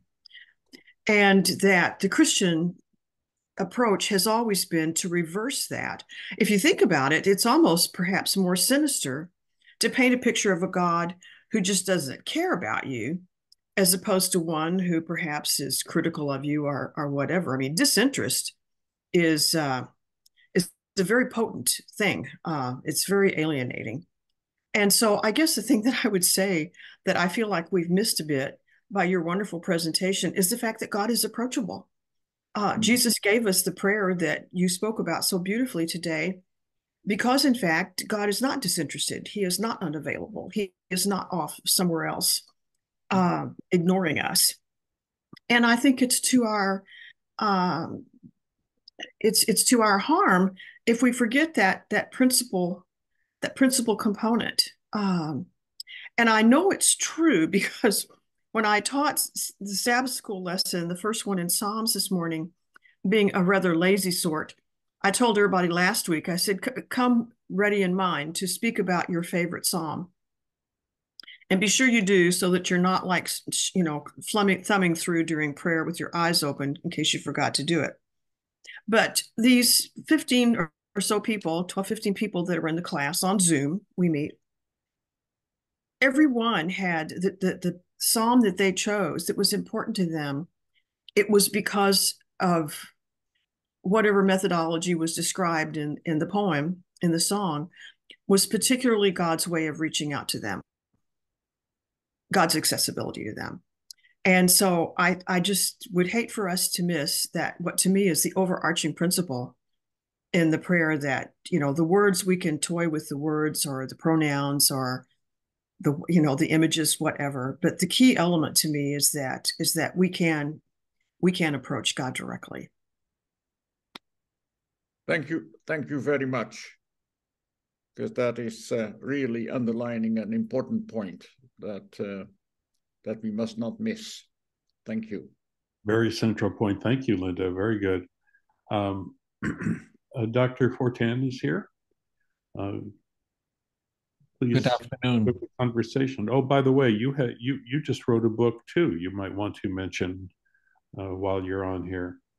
Uh, sure, I could do that. It's good to be joining you here this afternoon, Reinder, Thank you for your wonderful presentation and and it's it's good to hear you again. Um, yeah, a book, sure. The I have written a biography on uh, George Butler, part of the Adventist Pioneer series, like many of the other books that have been published so far, and should be coming out in about a month, I'm told, end of January, beginning of February. So um, you may hear about this one coming out too, and I hope it's well received. Um, Okay, joining this conversation here, I had a few thoughts to mention, but already I think a number of speakers just before me have said uh, what I wanted to say about the reality of heaven uh, and the uh, the concepts of worldview and how the biblical authors, when they talked about God, when they talked about heaven, had an understanding of reality that is very different from ours. And so, uh, you know, we were smiling a few times here during the conversation this afternoon about Orion, about when we get to heaven, how are we going to do the transport uh, without oxygen in all of this? No, these these are questions that are our questions because of how we understand the world, how we understand the geography of the world, planet Earth, and and the solar system and galaxies. But the Bible authors did not know anything about this. And for them, heaven is very close to them. The reality of where God is in the heavens is not, you know, uh, light years away. Uh, you just have to read a number of these Bible stories uh, through, the lens of heaven is very close, and and you will see this happen. I think. Uh, think of the uh, the Tower of Babel they really believed that if they could build a, a construction, a tower high enough, they would be able to reach heaven. And so God intervenes and stops that. Uh, a lot of the prayers we hear about in the Old Testament, uh, the story of Elijah and the prophets of Baal on, on the mountain there, well, maybe you need to speak a little louder because he's sleeping and he's not hearing you. Uh, Elijah, you know, makes fun of the prophets.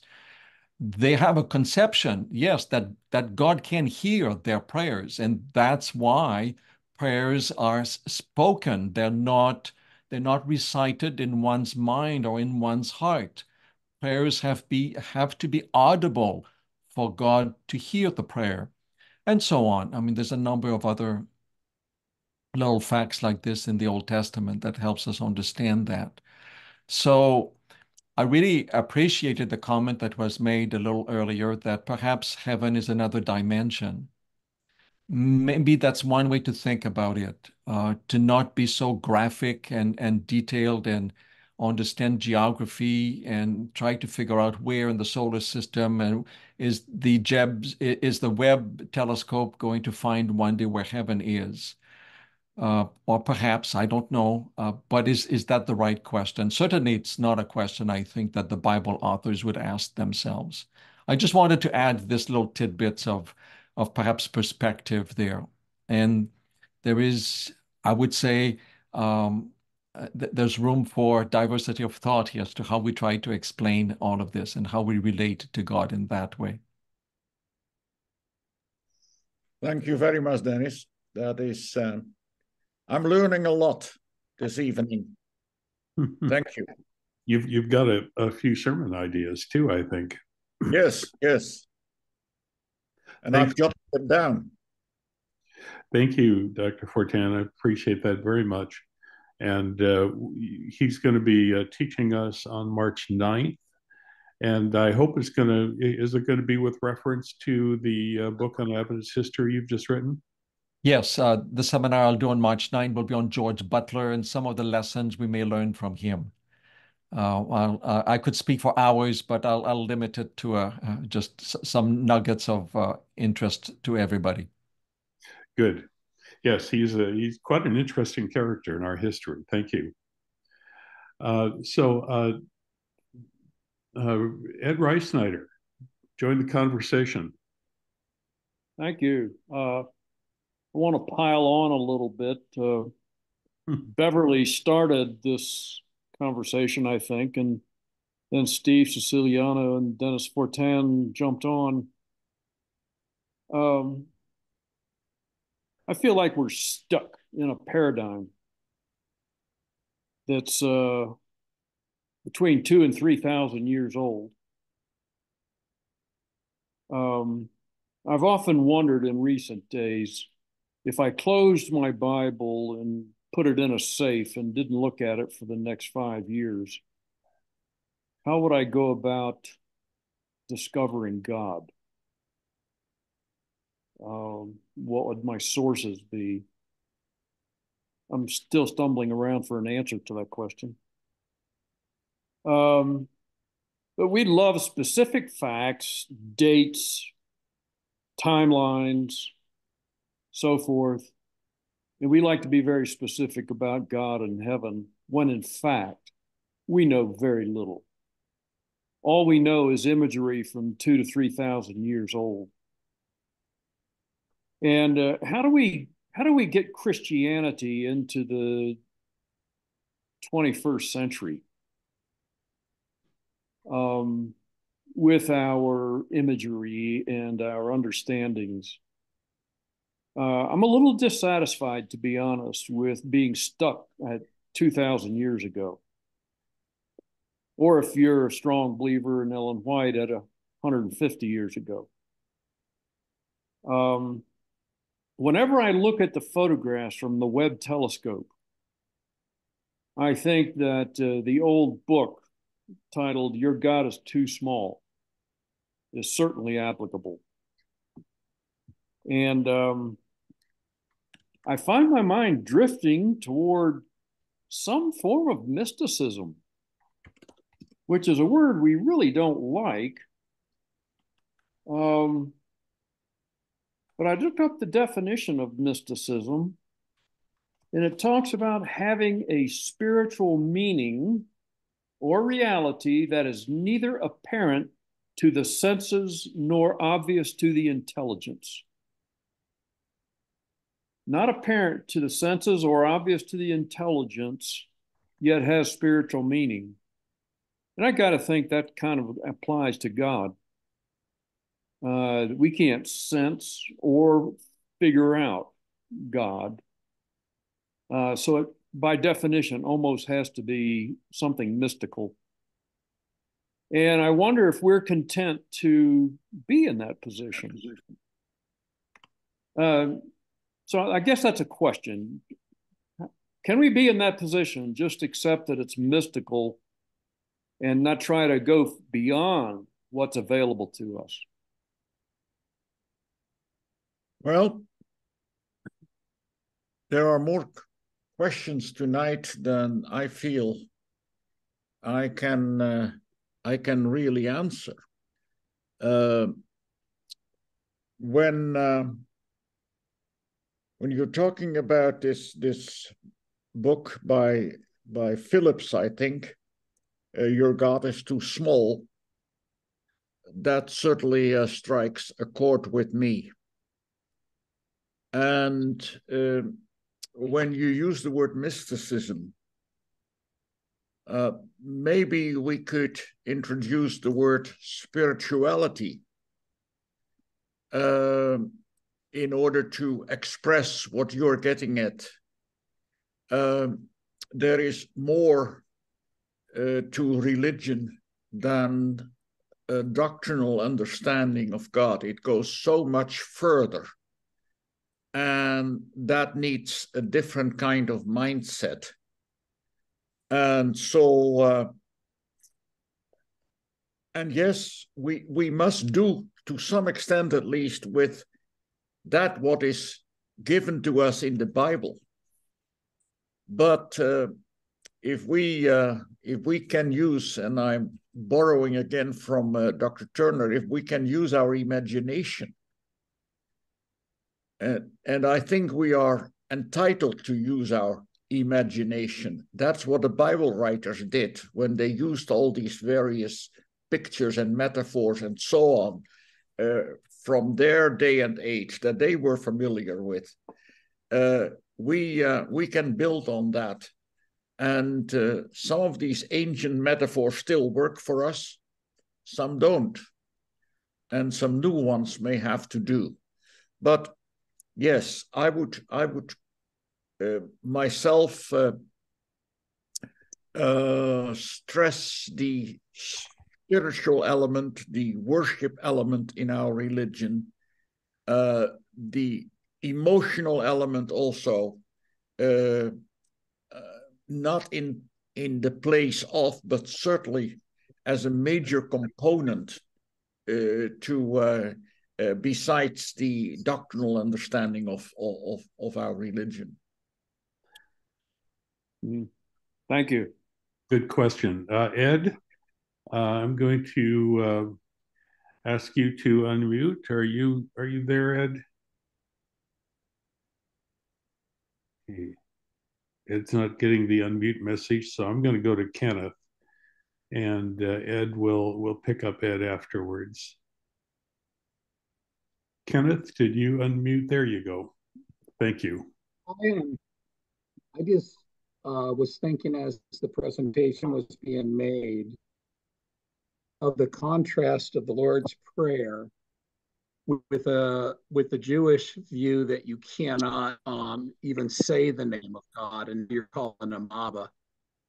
Um, I was wondering if how that fits in with this and uh, to the person who spoke just a moment ago. Um, Ellen White warned that we in the Great Controversy often that um, movements stop uh, stop where their founders when their founders died they can quit moving on from there and your reference to 1915 the death of ellen white is apropos because we're having to make some choices if uh, we can only go as far as she went or if we can think um, and and see the bible beyond that so but the the thing that really struck me was here's a group of people who say you can't you can't um, even say the name of God out loud.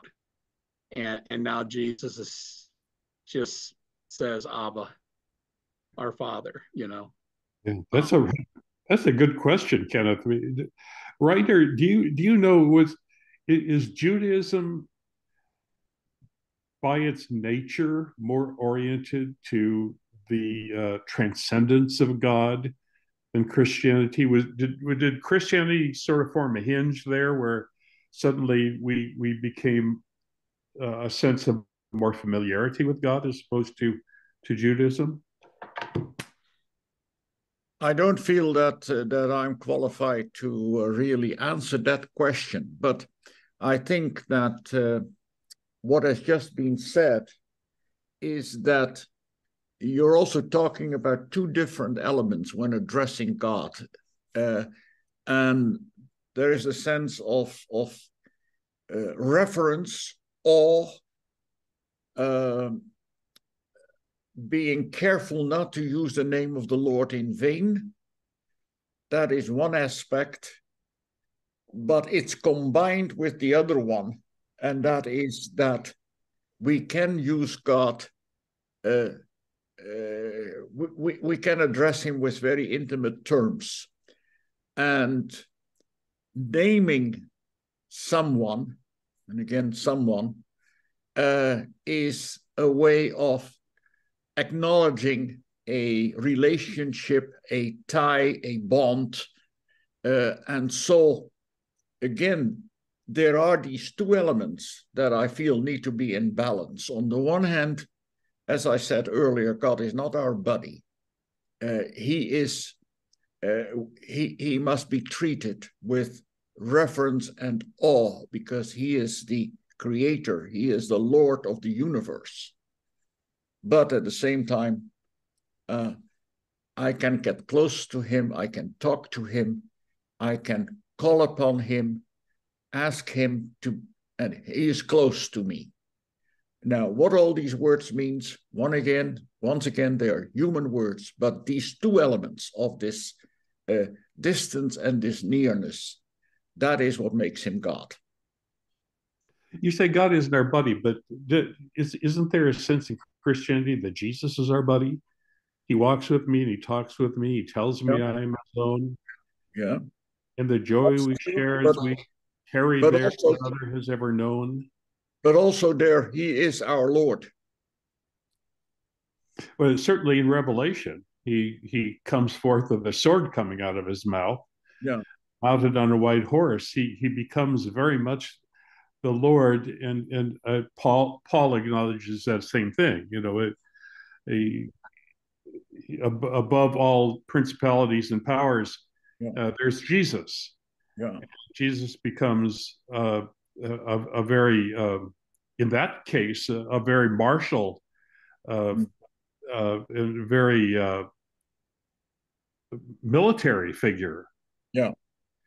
It's good that we have other images also. Isn't it? You're, you're right. Very good point.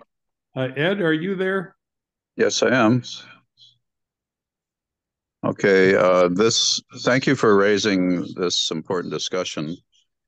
Of course, uh, the whole gender thing is um, has been an issue for a long time, according to the uh, Church of England. Last um, spring, they set up a, an official process to neutralize throughout their church um, use of gender and try to make it neutral. And of course, you have the, according to the reporting, you have the conservatives uh, who want to keep things the way they are, and and you can't uh, view God in in a feminine way because uh, that's not really who God is. And and of course, you have the other side who want to neutralize it. And um, so while you were doing your presentation, I thought of uh, Mark twelve twenty five, where Jesus talks about when uh, people are raised from the dead, they will not marry or get married the whole marriage business is out the window.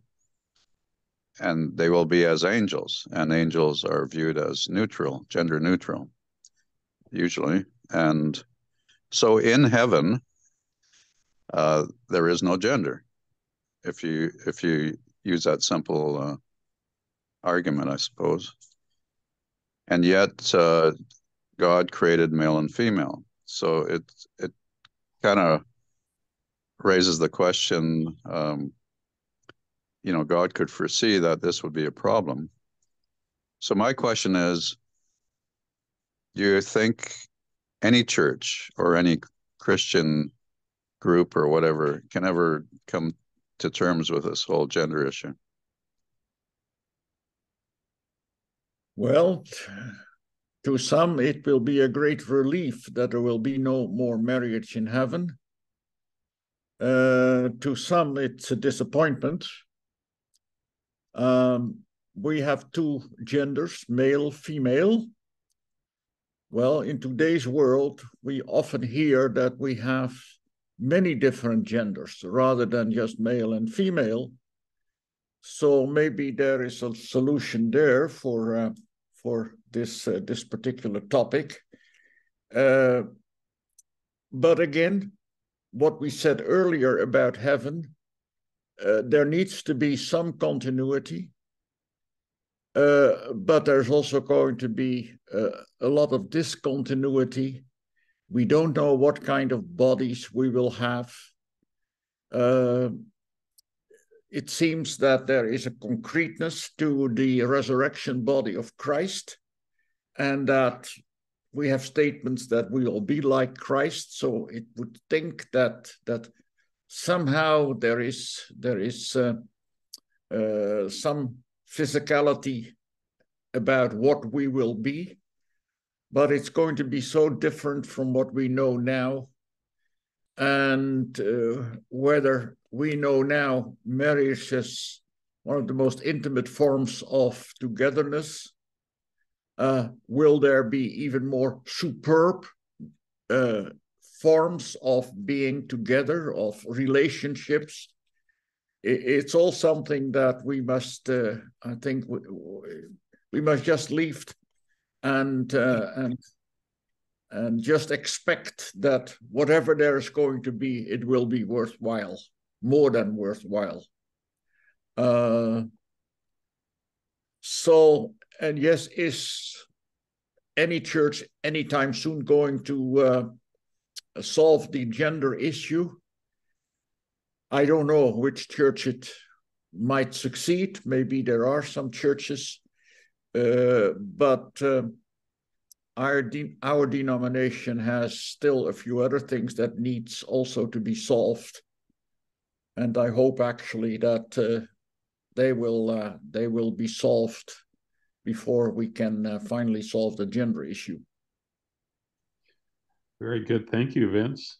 And thank you for joining the conversation. And uh, I mean, um, Ed, rather. Uh, Vince is next. Uh, did I did I unmute you, Vince? Try it again. I may have muted you wrongly there.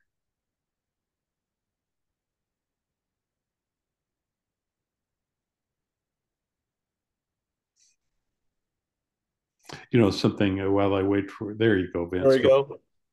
Yes, go uh, Dr. Bruinsma, I always uh, really appreciate uh, your presentations, and you touched just a few minutes ago, sort of on where I was going to go with the question, and uh, it's it's a little bit vague because until today I hadn't really thought about it again. But sometime in the last year or two, uh, I was I was, was forwarded a sermon from a strain of Adventism that uh, was talking about, uh, as you were just discussing, Jesus in the new earth. And perhaps, I'm guessing it's from Ellen White, but uh, that the physical or somehow some representation of the nail prints and the side and all that would be permanent. And the sermon, I thought, went even further and made it sound like his sacrifice was so great that he would be somewhat impaired as opposed to returning to a total divine state. And and I was curious, did Ellen White even suggest something like that? Are you aware of any statements like that? I'm assuming that that's where it came from. That's that's sort of the gist of my question.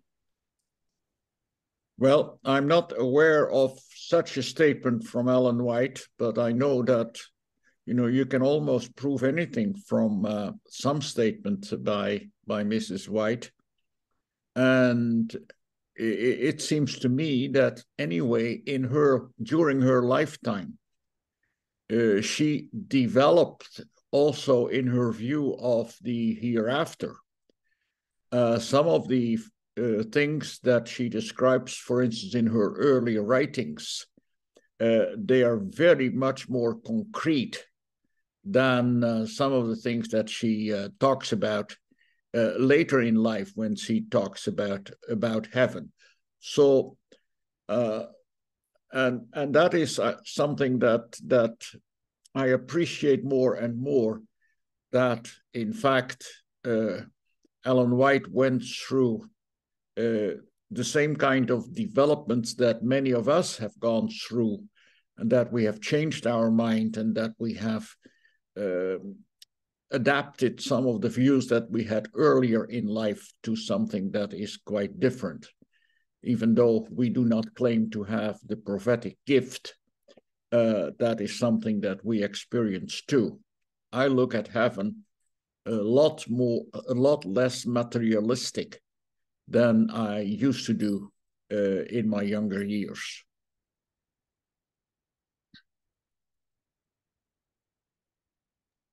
Our friend uh, Alden Thompson has written quite often about um, how Ellen, the, the, early Ellen White was was quite different in her understanding of grace and acceptance of people than the later Ellen White.